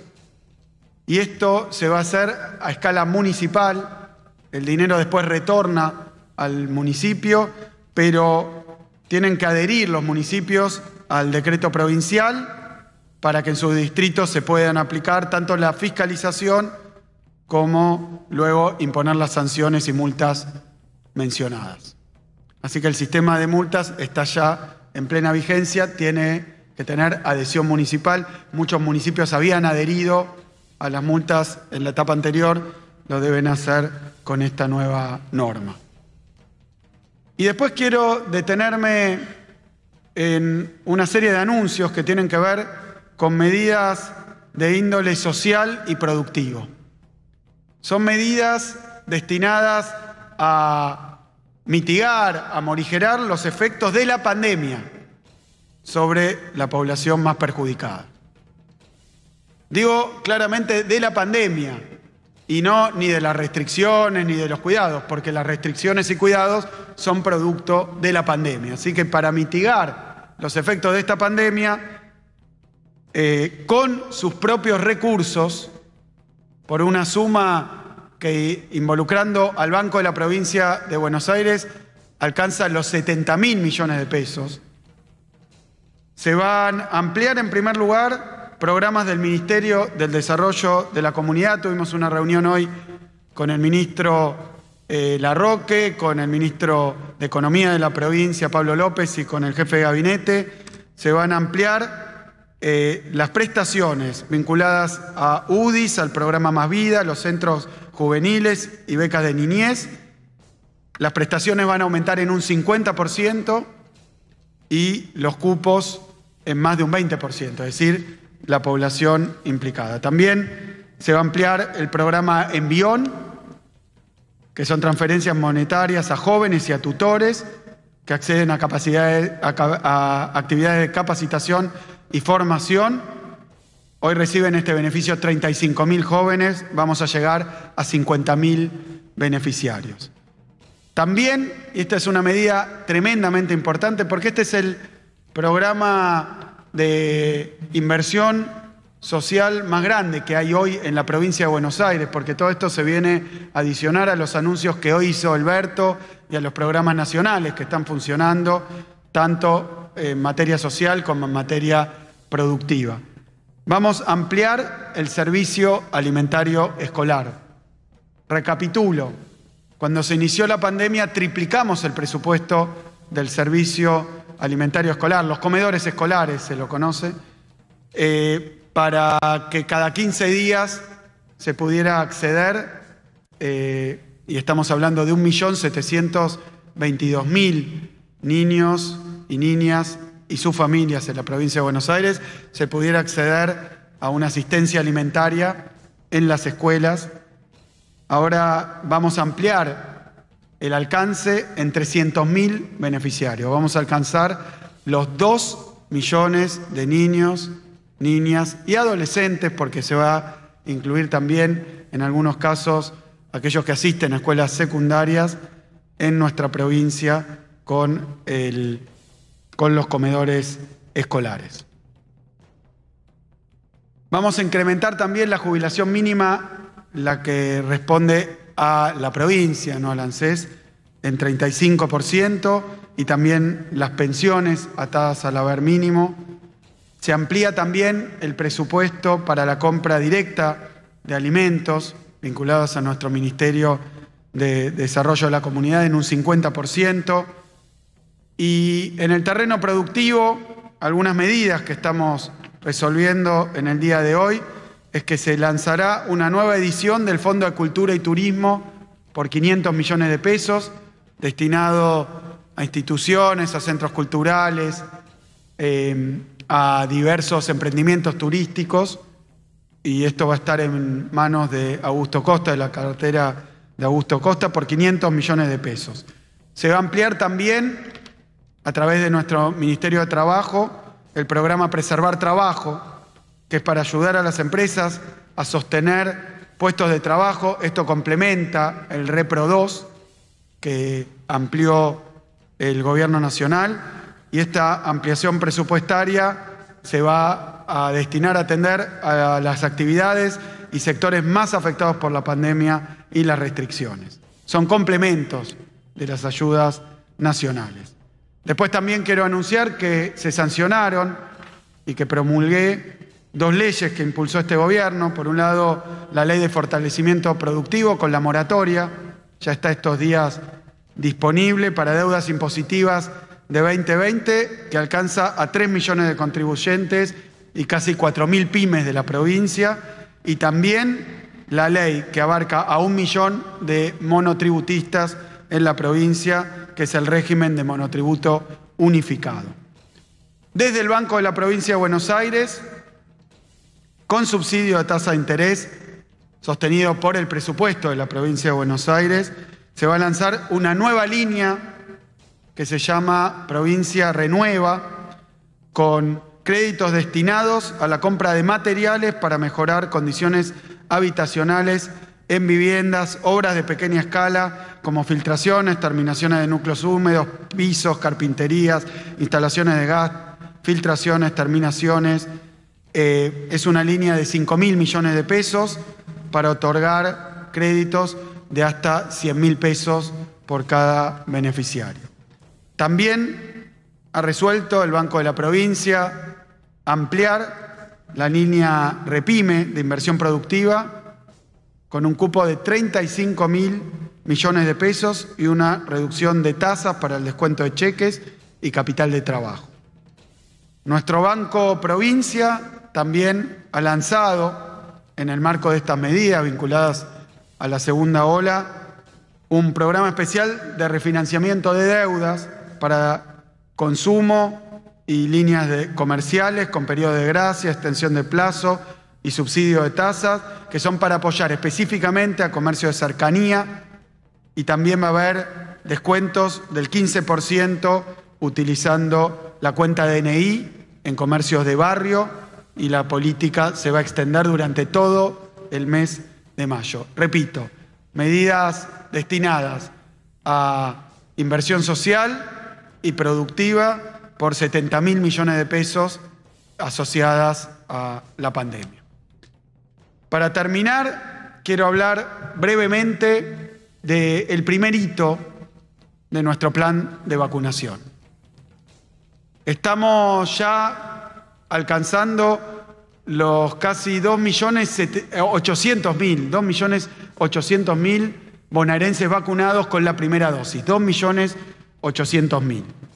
Esto implica en el personal de salud 95% de cobertura, en los mayores de 70 años, 87% de cobertura. En las personas de 60 años que hemos visto últimamente, muchos vacunados, estamos alcanzando el 86% de cobertura. En los docentes tenemos el 50% de cobertura y en la fuerza de seguridad un 30% de cobertura. Durante la semana que viene con las vacunas, recién veía más de 760 mil vacunas que han llegado Sputnik. Con este refuerzo, durante, en el transcurso de esta semana, vamos a cumplir este hito. Cuando digo cumplir, el primer hito que es vacunar al personal de salud mayores de 70 y mayores de 60 con enfermedades, hablo de cubrir más del 90% de los inscriptos, que son los que expresan la voluntad de vacunarse.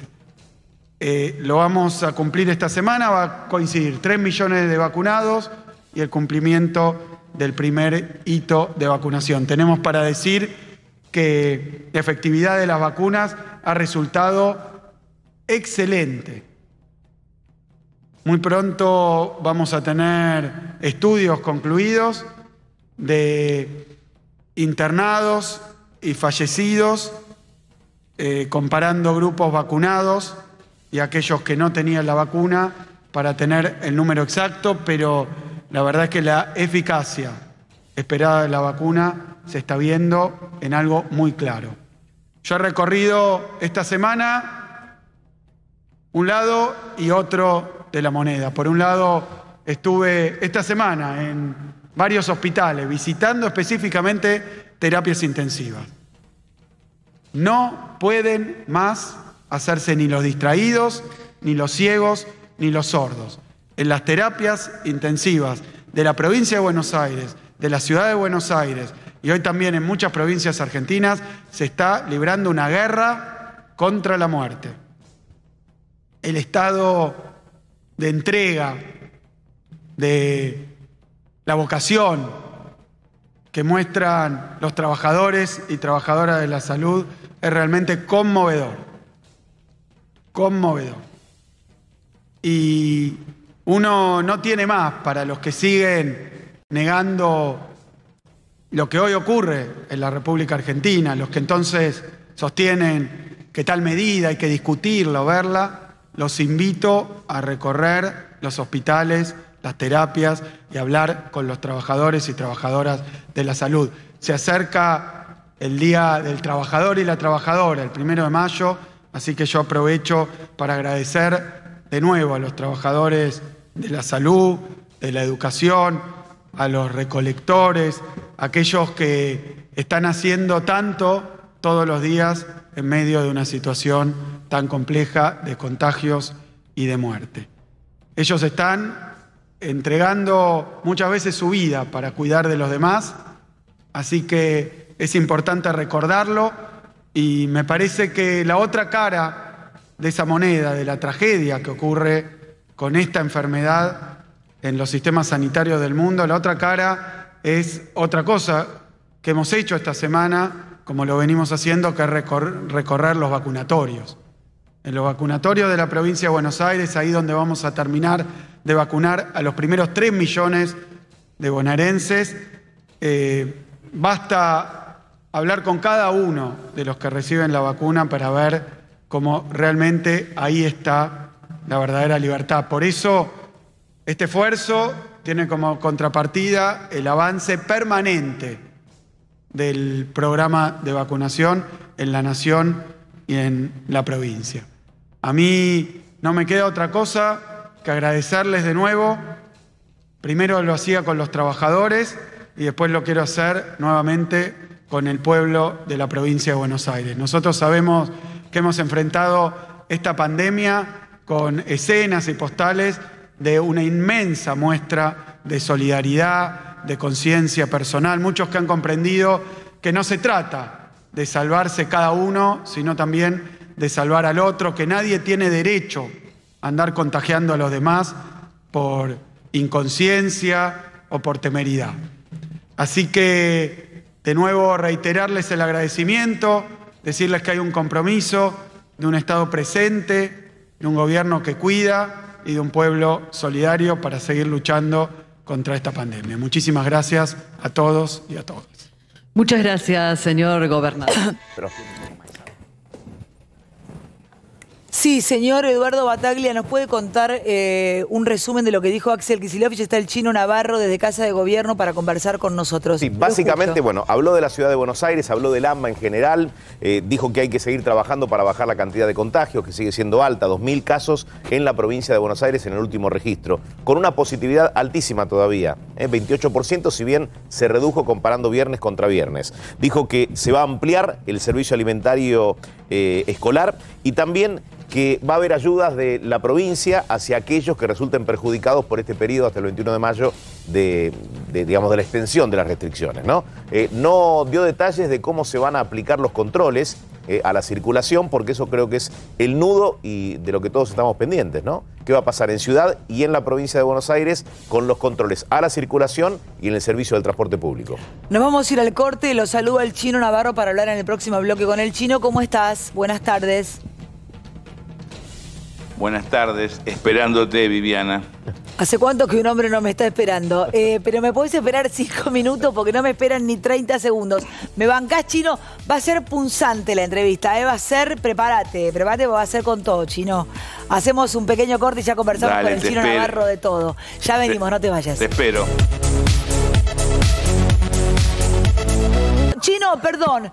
La otra vez no me acuerdo con quién me pasó que tuve que hacer más corta la entrevista porque habló Kisilov y mucho. Eh, Bianco, Carlos Bianco. Bueno, Chino Navarro, voy al grano porque hoy arranqué muy tibia.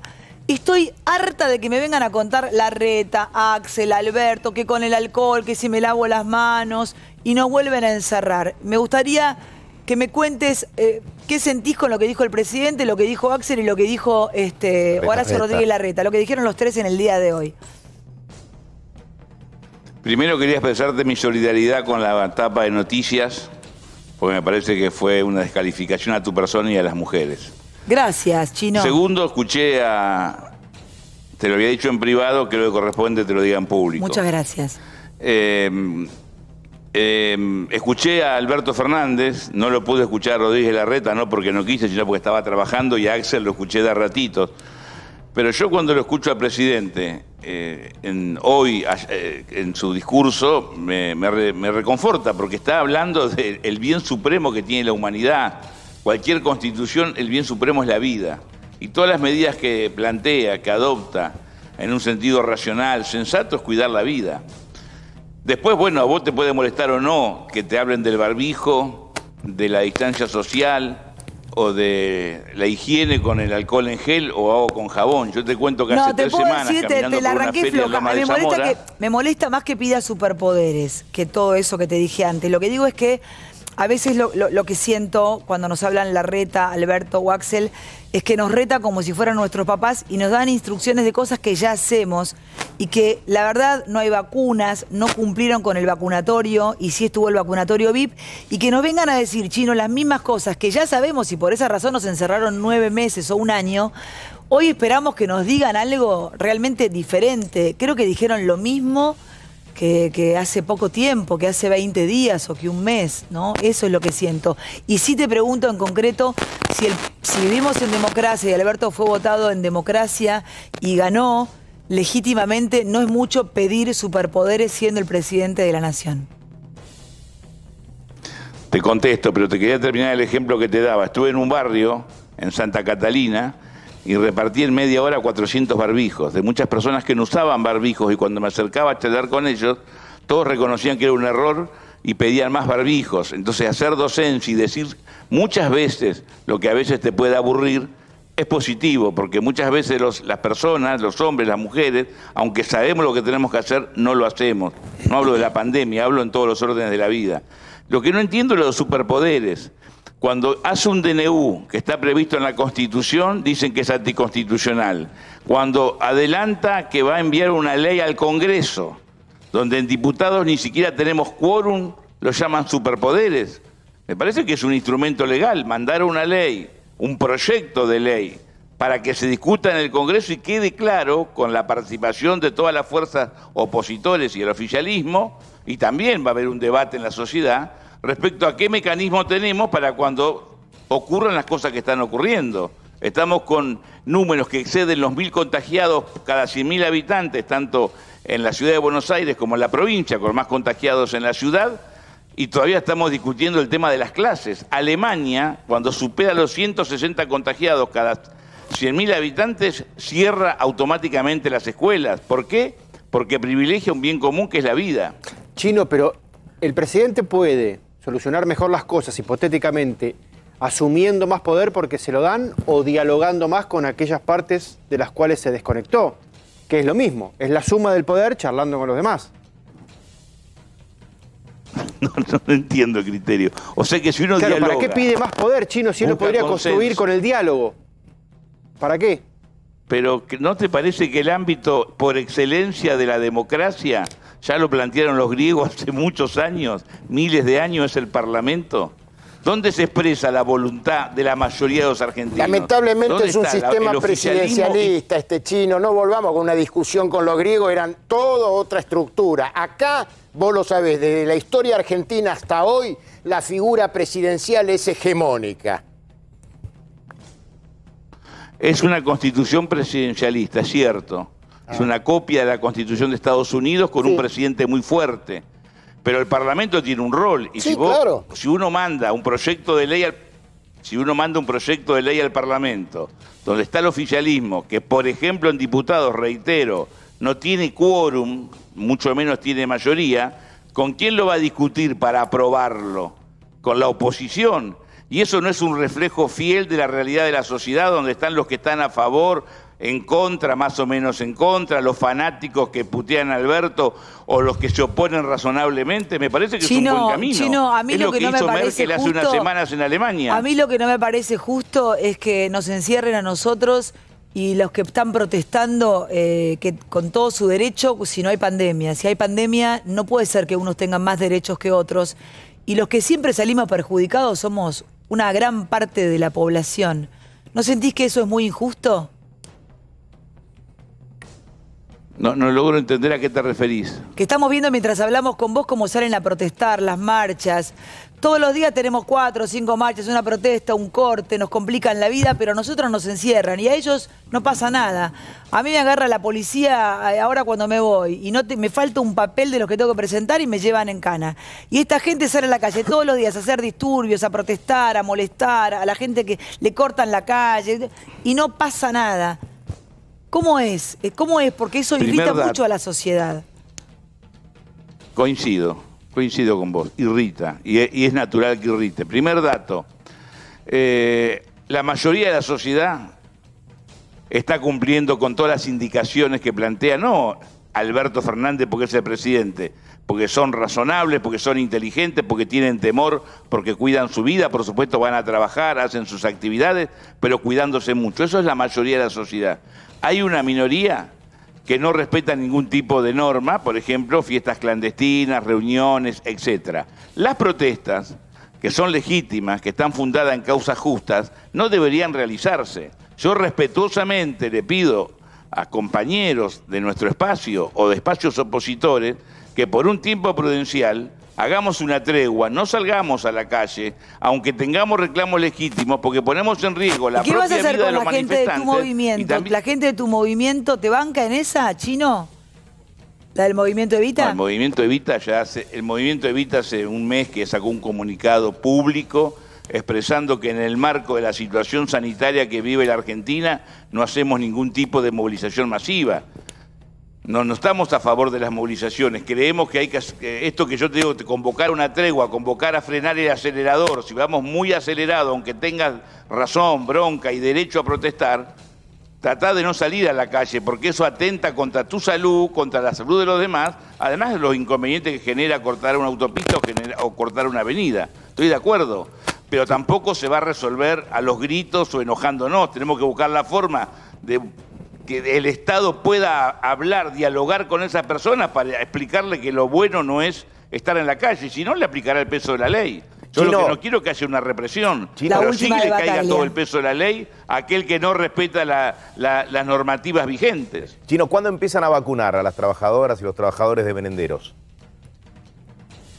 Cuando les corresponda, como a todos los demás trabajadores. Cuando te convoque el sistema sanitario como le pasa a cualquier vecino. A mí no me han vacunado y yo estoy esperando que me vacunen aunque no estoy en un merendero. entonces, a ver, entonces estableció respecto... Pero, pero, ¿qué fue esta definición de esenciales? O sea, son esenciales, son estratégicos, pero igualmente se anotan en un plan como el resto. Eh, hace un año, un poco más, cuando se definió para poder... ¿Te acordás que había para transportarnos había mucho más controles, mucho más sí, había menos categorías Tenías que tener una, una, una aplicación para determinar que eras esencial. Hace un año largo se definió que las personas que desarrollaban tareas en comedores escolares, comunitarios o merenderos son esenciales. Chino. A partir de ahí Sí. No, Chino, terminó mi horario, tengo que hacer el, pase con Novarecio, hoy no queríamos dejar de la semana que viene porque me dijiste que íbamos a discutir, que íbamos a hablar del peronismo, me mandaste un mensajito diciendo... Así que la semana que viene invitame y charlemos mano a mano. Cada vez que habla aquí, sí, te quiero pelear acá, hablar del peronismo, hablar de todo. Te, espero la semana que viene, vamos a arreglar para ver sacar el piso. Si sos macho chino Navarro y te la banques conmigo para hablar de peronismo, ¿ok? Te agradezco mucho, ya estoy en el tiempo de Novarecio, pero de verdad te espero la semana que viene. Porque vos amagás y después no cumplís. Invitame la semana que viene. Buen fin de semana. Perdón, ¿cómo dijiste? No, no, no sé si está afiliado al peronismo. Perdón, me estás apretando porque estás en la rosada, chino, porque mirá que me la. las, ahora sos funcionario. la semana que viene te espero acá en el en el piso, en vivo, a debatir sobre peronismo. Buen fin de semana para vos, tu equipo y la audiencia. Gracias, Chino. No, cuando vamos a Luis, cuando estaba casada con Borenstein, un día me mandan un mensaje, porque todo, todo el peronismo, yo me mandaba mensajes para que yo le transmitiera a Alejandro Borenstein, hola Luis, ¿cómo estás? Entonces, un día en vez de Chino Navarro le digo, te llaman Chico Navarro. ¿Qué carajo dijiste? Escribiste Chico Navarro, si es amigo mío, no sé. Entonces, siempre que lo llamo, le digo, escúchame, Chico Navarro. Entonces quedó como Chico Navarro.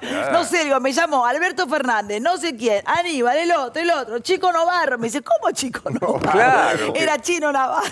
¿Qué escribió Chico Navarro? lo bautizamos Chico Navarro. ¿Cómo estás, Luis? ¿Cómo estamos? ¿Bien? Uy, qué día. Bueno, la, verdad que hoy parte del programa fue, fue Kisilov este, y las medidas y lo que dijo Alberto. Y mi y la reta. y la reta, y que nos siguen diciendo cómo lavarnos las manos y ponernos alcohol. Mira, yo me le muestro a Alberto, le, tiro a todos todo el tiempo. Muy bien. Eh, eh, nos la pasamos tirando alcohol, no, en las manos. Ahí está. Muy bien, eh, Nos pasamos todo el tiempo. Pero bueno, ¿cómo lo viste vos? ¿Cómo viste vos a los tres? Axel, seguramente lo escuchaste mejor que nosotros que estábamos medio al aire y en el corte. Bueno, el, anuncio del presidente, que sustancialmente no cambia demasiado lo que tenemos, salvo la presencialidad de las escuelas y después hubo un titubeo que hoy voy a tratar de entender.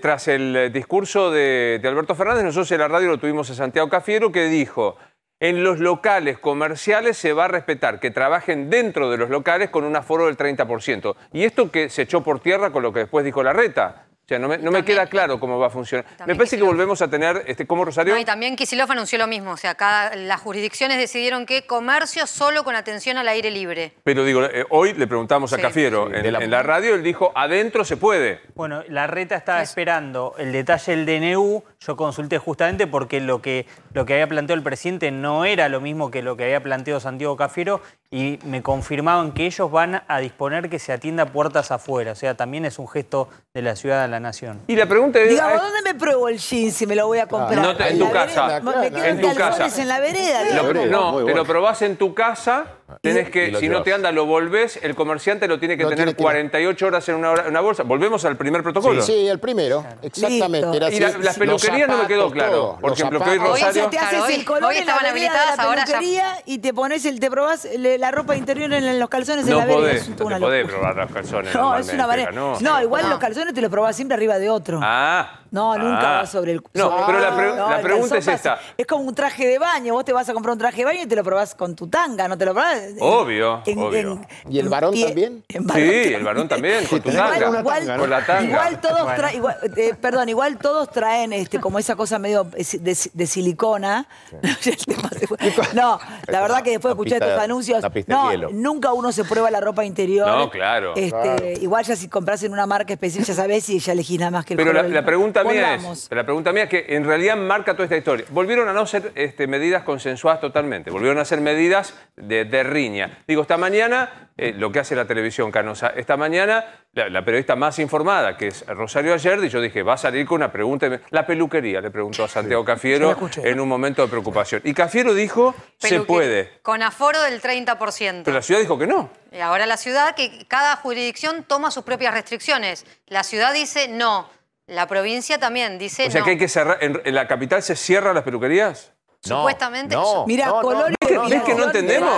sagrado. No, no, no. Bueno, pero si quieren que, tengamos un Supuestamente locales comerciales. Quedó claro que es, es con el sistema que viene rigiendo hasta en la ahora. calle no pueden atender. Ahora, perdón, Ortelli, Luis, Rosario, yo quiero decir algo. ¿Ustedes se dan cuenta que hablaron Alberto Kisilov y Larreta y nosotros estamos tratando de traducir a las 8 y 5 de la noche lo que Una dice duda metódica. No entendimos cómo se lo piden Es al lo que colegio estoy tratando de demostrar, que no tomadas por consenso, estamos debatiendo si la peluquería puede atender en la calle como en, China, o en China los peluqueros están en la calle, en las plazas, te cortan el pelo, o pueden adentro, o sea, porque eh, la, la ciudad supuestamente puede más que lo que puede la nación, pero la nación dijo no, pueden abrir locales, la ciudad dice que no. ¿Cómo va a ser Hoy esto? Cafiero habló solamente, en tu programa, habló solamente del delivery y hoy Larreta dijo delivery y takeaway. Es Que decir, no está puedes permitido, enca- supuestamente. Encargar Por y retirar en el local. Delivery, takeaway, dígalo en español. Retiro en el local. Pase y retiro. Paso y retiro. Sí. Es, ve- digamos, a ver, por eso, por eso intentaba dar ejemplos para decirlo Marco. Me parece que es una enorme pena que unas medidas que evidentemente son necesarias porque hay un crecimiento de los contagios de las muertes estrepitosa, vuelven a ser tomadas en disenso en el conglomerado urbano más importante del país que es el AMBA. O sea, la verdad que no Y puedo en realidad. Luis, perdona, son cuatro o cinco medidas. Eh, Esto claro. es dejar en claro, en un mensaje presidencial y después ratificado por el resto, hablándolo previamente, construcción, servicio doméstico, comercios. Escuelas. Y listo, escuelas y, y circulación. y circula- Y cuando, la exacto. línea, Listo. cuando la línea no es clara, lo que termina sucediendo es que cada uno hace lo que se le canta. Claro. Y volvemos a someter al, al presidente, en este caso, que toma una medida, a un desgaste por incumplimiento de hecho.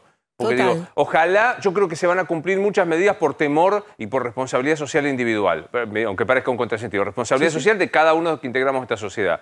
Pero digo, me parece que, insisto, deberíamos haber visto a los tres funcionarios del conglomerado más el apoyo de los gobernadores y tener claro y no estar discutiendo esto. Sí. Pues digo, eh, mi pregunta, Luis, perdónenme que les sí. diga, Bataglia, usted es la persona más informada. Bueno. A las 20.07 de este día, viernes 30 de abril, en la ciudad capital, en la primaria, ¿hay clases presenciales? Para, antes de contestarle, Luis, eh, tenés muchas sombreras, te queda grande el saco, pero ahora vamos No, a lo no importante. hombrera. tenés como mucha espalda hoy. No sé, tenés muy... Te veo como muy grandote. Espaldudo, diría mi Es que abuela. estoy grandote, espaldudo. estoy grandote. Está grosso, está grosso. Está grosso, Está. O entrenaste mucho te creció la espalda. pues. ¿Quiere que me saque el saco? ¿Quiere que me saque el saco? Es el Claro, corte quiere del que muestre los saco. brazos. Era, era un- Es el saco de. Chascarrillo. es el saco de Braulio. No, no, no, que, pero no tengo hombrera.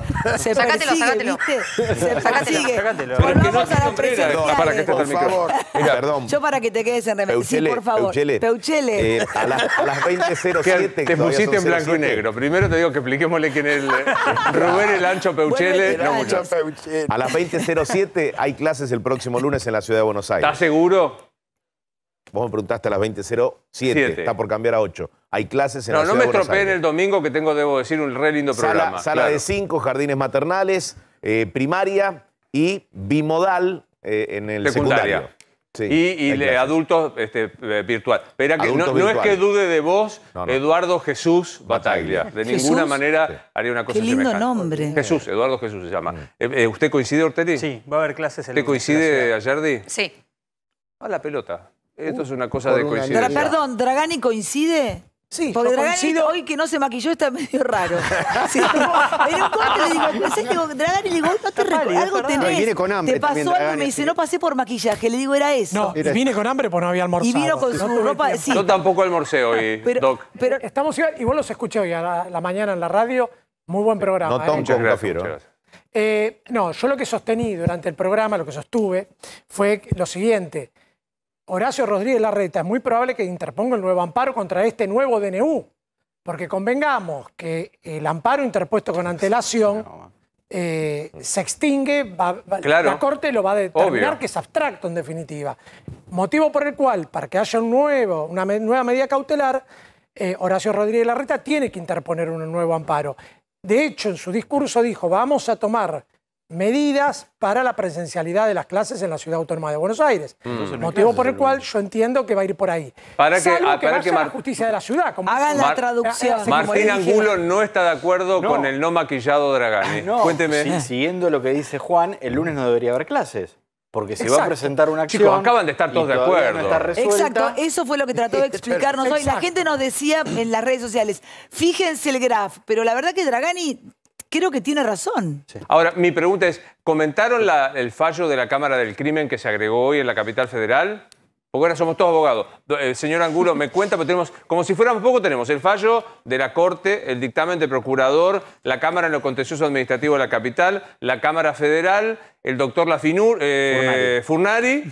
Y me sale Lafinur, chicos, ¿qué quiere que le diga? Encima no puedo dejar de mirarme la sombrera ahora, me, estoy totalmente desatento con el pase. Para, para, te perturbó lo de la sombrera. Claro, no puedo, no puedo. El programa. Y entonces, ¿y la Cámara del Crimen qué dijo que? Hace un ratito la Cámara del Crimen trató varios habeas corpus que distintas personas presentaron contra el DNU que termina hoy.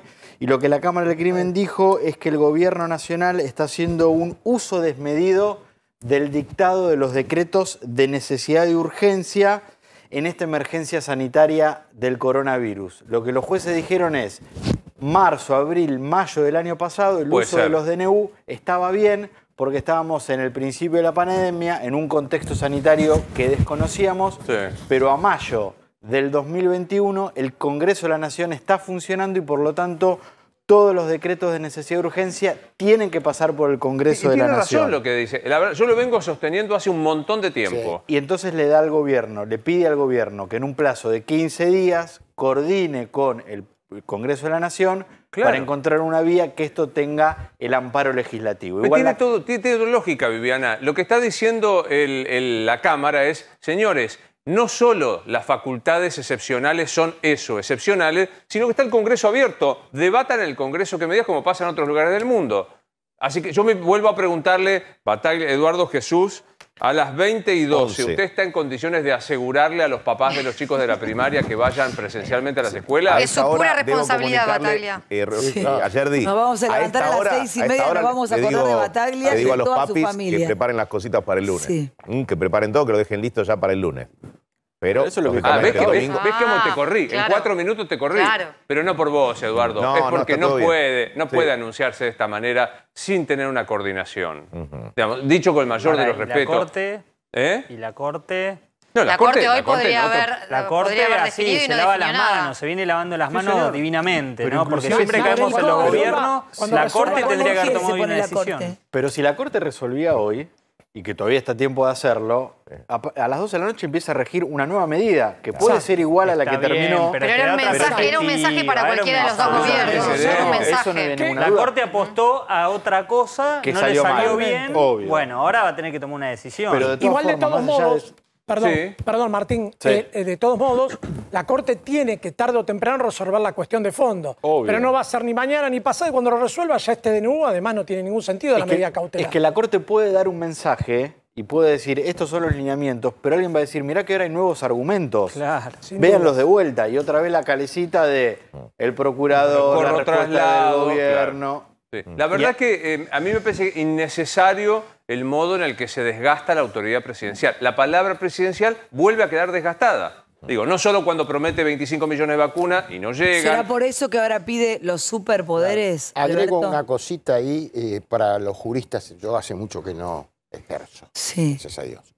Este, Gracias a Dios. El artículo 76 de la Constitución establece que ante calamidad por tiempo determinado puede el presidente pedir eh, Delegación de favor. Pero es lógico, sucede que la calamidad empezó el 18 de marzo. Y la calamidad hizo que durante mucho tiempo el Ejecutivo se arrogase todas las facultades, yo lo pongo siempre con este ejemplo, para abrir un café... Disculpame, Luis, para mí la calamidad viene hace mucho, mucho, mucho tiempo. pero, que le ponemos esa fecha, ¿no? Pero digo, el jefe de gabinete te decía si habilitabas o no un bar para tomar un café afuera de la calle. Disparatado. Había que, había que someterlo al Congreso y en ese caso delegarle las facultades al presidente, que es lo que está pidiendo ahora. Ahora, mi pregunta es, hay un nivel de confusión y de ausencia de concordia política que hace que estemos preguntándonos en chistes, divirtiéndonos. No, no, pero le ponemos humor para relajarlo, pero estamos preguntándonos las cosas chicos, que el lunes, ¿hay o no hay clase? ¿O tenemos que estar el fin de semana mirando... Eh, perdón, Luis, hay una cuestión de resultados.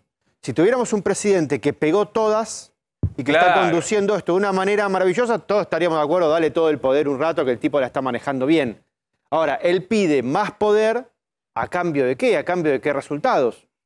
Sí, si es la Armada Brancaleone todo, ¿no? Pero, pero preguntas, preguntas domésticas de todos los días. Las peluquerías, el lunes, ¿se pueden abrir en la capital federal? Sí. ¿De, damas o de caballeros? Sí, ¿De dónde sale? respetando la cantidad de metros cuadrados y la cantidad de gente que puede estar en el lugar y con turno. Lo dijo Cafiero, lo dijo Cafiero. Pero lo dijo Cafiero, pero la reta dijo otra cosa distinta. La reta acaba de decir que los comercios solo podrán y es un comercio eh, a puerta, puertas afuera. Para mí le faltó la especificación. Si me equivoco me corrige. Le debe faltar la aclaración a Horacio Rodríguez Larreta de lugares como peluquerías y demás que te tenés que atender. ¿Cómo, no lo aclara en ese momento? Puedo contar una, infidencia de, que grafica el nivel de desconcierto. Mientras hablaba la reta, el gobierno porteño difunde las medidas entre las que estaba esto de atención puertas afuera.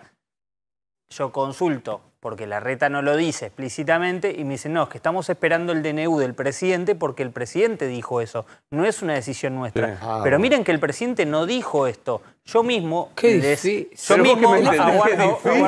Aguardame que, porque es desopilante le paso la, desgrabación del presidente, el presidente no dijo eso. El presidente se refería a los bares, a los bares y a los locales gastronómicos. Totalmente. No a todos los locales. Luis, ¿te acordás cuando éramos chicos? Porque somos gente grande. Jugábamos al teléfono descompuesto, que decíamos al oído una palabra y decías una y el último decía cualquiera. ¿Le puedo sumar Pero algo? al teléfono descompuesto ¿Le puedo sumar algo? está, estratégicamente, está estratégicamente pensado que el decreto pierda vigencia el 21 de mayo. ¿Por previo al fin de semana largo? Ah, Porque digo, la semana pre, digo, desde ahora, quienes trabajan en el rubro turismo están pensando en, ese fin, de semana, largo. Es decir, se juegan todas las fichas ahora. En la semana previa vamos a estar hablando de un nuevo periodo similar a este? Y Porque vienen cuatro días, ¿eh? Hoy 22, no sé si lo va a reconocer, 25. Eduardo, no sé si lo va a reconocer un rato más. Está eh, Diego Santilli con nosotros y después Nicolás Trota, que vamos a tratar de desentrañar qué pasa. Ya está Carlos Uy, estoy hoy con Trota, ojalá que no me lo cruce. Por, va en vivo Trota. Hoy estoy recaliente con Trota. Sí, va en vivo. Ah, bueno. Me, encantaría después que. Estoy enojada con Trota, pero bueno, nada. Pero no, pero si Estoy enojada. No, estoy enojada con Trota porque, porque siento que le tenía como la última esperanza. Para mí, de verdad, la educación es un tema eh, que se está tomando con pincitas, que viste mm. que uno no siente que sea por 15 días, porque si uno sintiera y les creyera, uno dice, bueno, 15...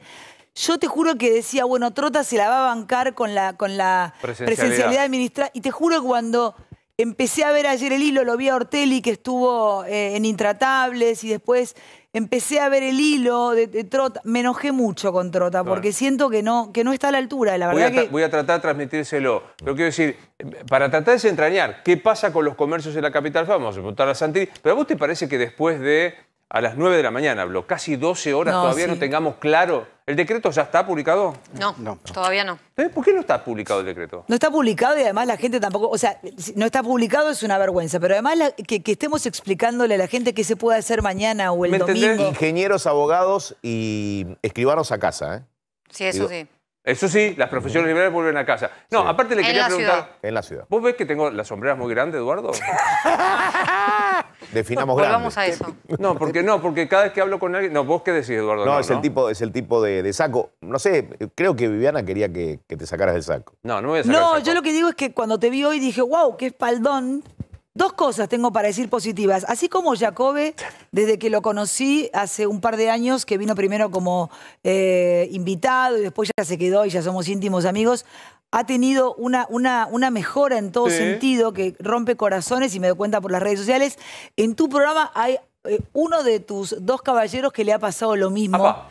Y si no se ofende, se lo digo con una visión, digamos, como si fuera una amiga, digamos. como, sí, no, dígaselo. Yo creo que Angulo este, está en, su, en un gran momento, a punto de despegar. Que Angulo está bueno plantado, está como mucho más seductor cuando habla que al comienzo. Mira, digamos, yo tengo alma de productora, básicamente. Entonces, viste, soy como, me gusta mucho observar cómo va como ensamblando cada uno. Y con Jacobe nos pasó, y veo que está pasando con el señor Angula, y los tenemos a, los dos galanes de, ambos programas.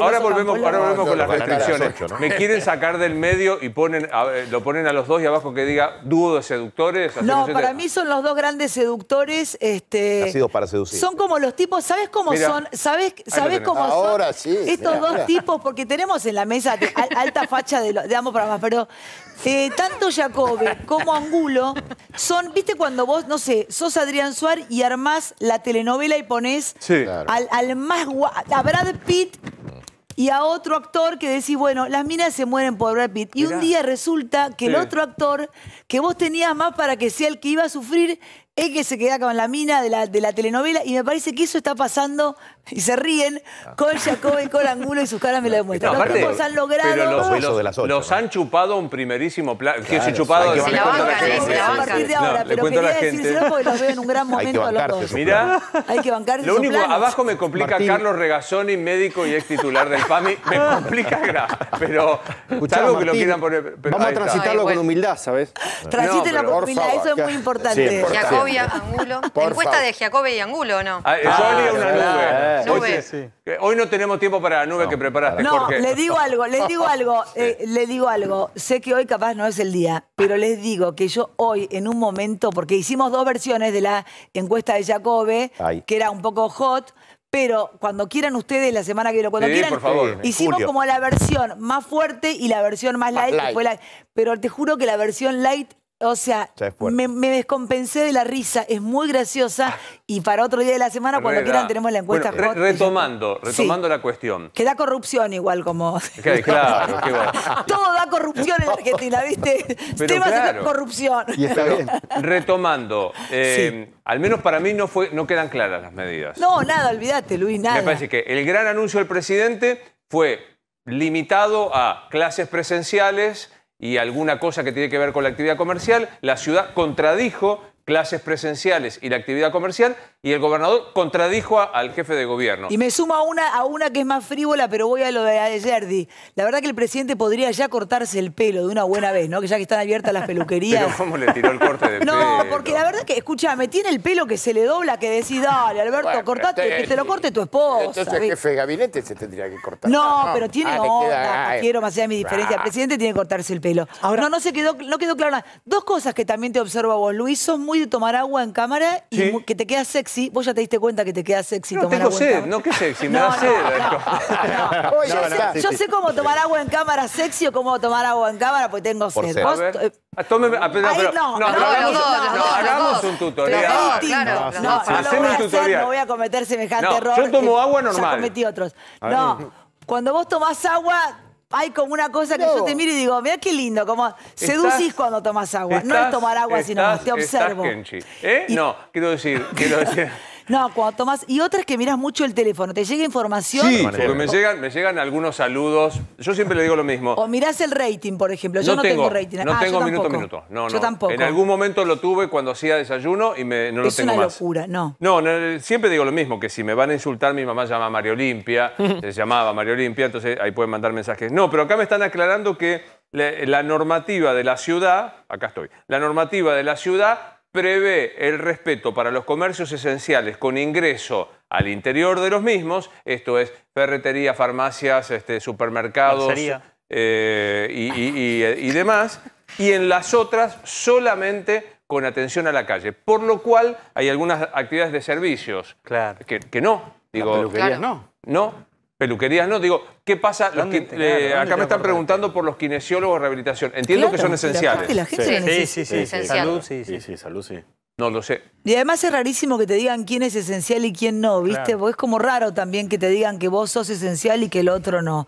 Somos todos esenciales, comparte Ortelli. Cada uno en lo suyo le pone lo que tiene que poner y Total. es esencial. También es raro este, que El te digan que en- tu papá o que tu mamá son o no son esenciales, que Esenciales tu y es- autorizados eh, en la ciudad de Buenos Aires, obras de hasta 2.500 metros cuadrados. Solo, Están claro. autorizadas, pero no van a poder utilizar los transporte empleados del Filosofía. transporte Y te No, pregunto. escuché que si, el albañil va en auto, y vos decís, si el albañil fuera en auto, capaz que era el arquitecto, boludo. Hoy me sea, llamó un te- te arquitecto dicen, que me Y si el albañil va en auto, puede ir. Y vos decís, pero ¿cuántos albañiles conocés que tengan un auto? ¿Viste Y cuando para decís, ir todos los días con el precio Hoy de un, arquitecto que Claro. tiene, hoy un arquitecto que tiene una obra ¿Dónde en vive Ciudad de Buenos para- Aires pero- ya estaba averiguando el costo de, de una combi o un micro para poder transportar Claro, porque personas. Luis, ¿dónde Para vive esta gente para decirte que un albañil Si va con su auto puede ir, chicos. no da. No conozco, no conozco muchos albañiles, pero lamentablemente, que, sí, lamentablemente el presupuesto no les da. autos, pero no. ahí, es para, ahí, es para, cortar la circulación de la provincia de Buenos Aires. Muchos de los albañiles llegan de la provincia de Buenos Aires claro, y quieren cortar. No, lo otro que es pregunta para Eduardo Jesús, para Ignacio. Facundo. Ignacio Facundo. o María del Rosario debe ser vos, ¿no? Solo Rosario. ¿No sos María del Rosario? No, claro. Digo, la pregunta es... Pero está muy desesperada por la peluquería, enganchó algo en pandemia, las raíces son un horror. Pero hay que reempadronar, Eduardo Jesús, hay que reempadronar los permisos de circulación. Si lo tenés asociado a ver, Rosario, si lo tenés asociado a la cuidar, no tenés que reempadronar nada. Si tenés el papel impreso y lo tenés en la luneta del auto, y sí lo vas a tener que modificar. Levantó la mano Campolón. No, no, no, porque ah. me, interesaba ese tema, justamente. Ah, ¿Es así ayer? yo, no, entendí una cosa. Mm. Perdón, yo no entendí una cosa, a ver si, si alguno de ustedes lo, entendió. No entiendo por qué cierran siete estaciones de subte. Mm. Como si la gente no fuera a la siguiente a tomarse otro en la otra estación. Y en la otra estación se, se llena de pasajeros que se pueden contagiar entre sí. La verdad no lo entendí. Eso no lo sugirió, por lo que me han contado, no lo sugirió ningún médico ni infectólogo. No. Porque se concentra más gente en, el resto. De la no, debe, debe ser para poder controlar mejor. Claro. ¿Quién tiene permiso? Ahora, si, si vos tenés que, cerrar siete estaciones porque no tenés 20 policías más para controlar, bueno, vayámonos todos. No, pero aparte digo, a, propósito que decía Bataglia, eso no lo sugirió ningún infectólogo. ningún infectólogo sugirió la suspensión total de la presencialidad en las escuelas. Y sin embargo se tomó hace 15 días. Porque decide el presidente. Pues, ¿Puedo decir que tengo mucha hombrera? Te lo sumo, mira, te digo algo. Yo ahora me voy a ir a casa, me voy a dar un baño, me voy a relajar, voy a preparar algo de comer, me está esperando mi padre porque casi, casi se lo lleva puesto a la policía, así que le dije que se quede a dormir en casa. Eh, voy a comer con mi hija, voy a una bata y te voy a mirar cuando tomas el agua, cuando el saco te queda lindo. Tenés muy buenos invitados, o sea que tenés que jugar fuerte. Tenés espalda o sea que tenés mucha espalda para bancarte la que venga, que es lo más importante, Luis. entonces? te vemos el domingo. Ah, espera que tome un toque de agua. Sí, toma, toma. El domingo... Porque lo haces muy sexy. Cada vez que tomes agua te vas a acordar que cuando te No voy a poder tomar nunca más agua ahora. No, no, porque yo Luis, cuando me ponchar no, tomo, ¿viste? Pero una vez me pescaron. Luis, ¿nos puedes dar a Angulo y a mí un cursito de cómo tomar agua al aire? se toma, se toma la, botella de esta manera. Con firmeza. Sí, con firmeza, pero tampoco. nunca, para, nunca levantes este dedo, te lo pido por. A ver, lo estoy levantando. Por eso, por eso. Se, lleva la botella. Mira cómo ya Angulo está en carrera. Se lleva la botella a los labios. Sí. No, tampoco que, ah, que le va a dar un pico a la, la no, botella. Pero hay, no, perdón, hay un gestito. Hay un gestito. Hay un gestito. Hay un gestito. Si no haces sopapa, chicos. Sorbo, sorbo corto. Quiero una, quiero una foto de eso. Sorbo corto. Hay un gestito. Angulo Queremos fotos de nuestros chicos. Es sorbo corto. Está tomando el contraste para la radiografía, ¿no? con una, con una... Con temor a, no sé, a estar tomando qué, y es agua. No, voy a, voy a confesar algo es que te digo algo. Mira, cada vez que yo digo algo encima esto está midiendo, esto es increíble. Me dicen para. No, es que bueno, es que ya no podemos más, la gente quiere reírse. Claro, claro. Cada vez que hacemos, yo veo por qué habla así, porque cada vez que cada uno asocia, acá tenemos al, psicólogo, digo, cada vez que eh, yo le, le, digo que cocina bien, lo hago en cámara y qué sé yo, Después cuando nos muestra lo que sucede en sus redes sociales, tiene más público masculino que femenino. Entonces, tipo, depende cómo tome hoy el agua, viste, se le llena, le explota el Instagram. No, yo te quiero decir una cosa, Jorge. Acordate que tu, tu eventual futura suegra te aprobó que es la mamá, de, la mamá, de Viviana. Sí, un año nos dio para ver qué onda, pero le dije que es muy mujeriego. no, no, pero, no, no, no, no, pará, pará, porque hay una acusación que pesa sobre mí Voy que a también me trajo, nuestra última foto. me trajo cola. Te, generó. Sí, sí, ya, sí, ya se cobró varias víctimas. Digo, una cosa es estar Abandonos. abandonos. Una cosa es, estar soltero y otra cosa es ser un gato que describe ganosa, eso no es cierto, digamos. no, pero Voy a mostrar nuestra foto antes de irnos si lo encuentro. Acá me dicen que claramente el saco no tiene hombreras. Alguien que es sabe que no tiene hombreras, te lo digo en serio. ¿Cómo se llama ese corte de saco? no, corte. No, aparte, eh, ahora lo llamo a, este, a Matías de Rollás, que, que el corte, otra vez tiene Divino, Rollás divino, le mando divino, un beso. claro. Sí, claro. La foto de que, está buscando. No, la foto de mi cumple, de mi último cumple que estábamos todos. Pero si ah, eh, se sabe algo más del presidente, no encuentro la foto, ya la encuentro, ya la encuentro. ¿Qué? Ya la encuentro, no, ¿qué pasa? No, acá insisto. ¿Cuál ah. querés, la de la rosa? Sí, la de la rosa, quiero esa foto que tenemos con... Acá está, mira. ¿A qué cámara le muestro la foto? A esta.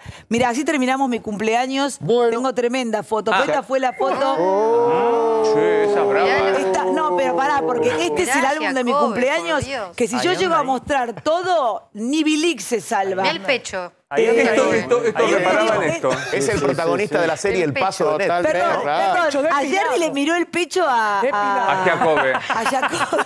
es hermoso. Si la pandemia sigue así, nos guardan a todos, nos quedamos en la 24. Yo ya tengo camarillo. No, tengo, tengo una información en esto. Me están explicando que se cerraron las estaciones de subte simplemente para crear burbujas de los empleados para que eh, puedan aislarse de a 15. bueno, bueno, sí, sí, pues yo estoy contando. Hace, instantes el ministro de Transporte porteño, Juanjo Méndez, dijo que era para disuadir a la gente que no vaya a viajar en subte. ¿Qué es la foto de esa? No alcanzo a ver, es Campolongo. es la reta. Eso, es Campolongo bailando en mi cumpleaños. Eso es Campolongo haciendo breakdown.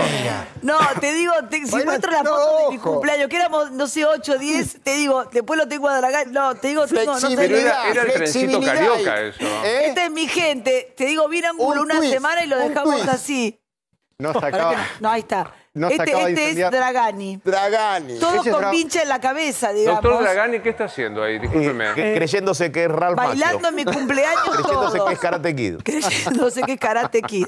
Y no te muestro el trencito porque nos perjudica a todos. No, quiero decirte que nuestro, mi productor, que está muy feliz porque nos, nos ve mucha gente, me dice, te pediría si podés ir redondeando. Sí, claro. Pero no, agrega, podés redondeando, silencio, esto. Porque no puede calificar lo que estamos haciendo. Con esto cerramos. Mira, estos somos nosotros cuando celebramos la vida. Estos somos nosotros. Muy bien. no pasamos bomba. Bailamos bomba. Pues nos tenemos que ir, ¿no, Luis? yo creo que sí, va. Que Buen fin de semana. Igualmente, te Di media, te di 31 minutos de mi vida, Luis. Oh. Como cada noche. Ojo, eh, ojo, eh, ojo con esto. No, eh, vamos a hacer ahora el programa. Ponele, si no nos levantaron. Capaz que ya hay otra gente en el aire, que nosotros no estamos más en el aire. Y estamos para circuito cerrado entre nosotros. Vila conduciendo un No, no, viste, hay toda gente nueva haciendo. arquitectura. y esto sale en un circuito cerrado. Claro, claro. Bueno, no. Eh, vamos hacer el programa, va. Pero ¿sabes qué? Para cerrar, digo, si esto está funcionando también es porque la gente, más allá de todo lo que pasa, quiere un rato reírse, relajarse. Igual todavía no saben si van los pibes el lunes Claro. No le dejamos nada claro. Buen programa, Luis. Gracias, nos vemos, Chau, eh, de verdad. Chao a todos allá. Chao.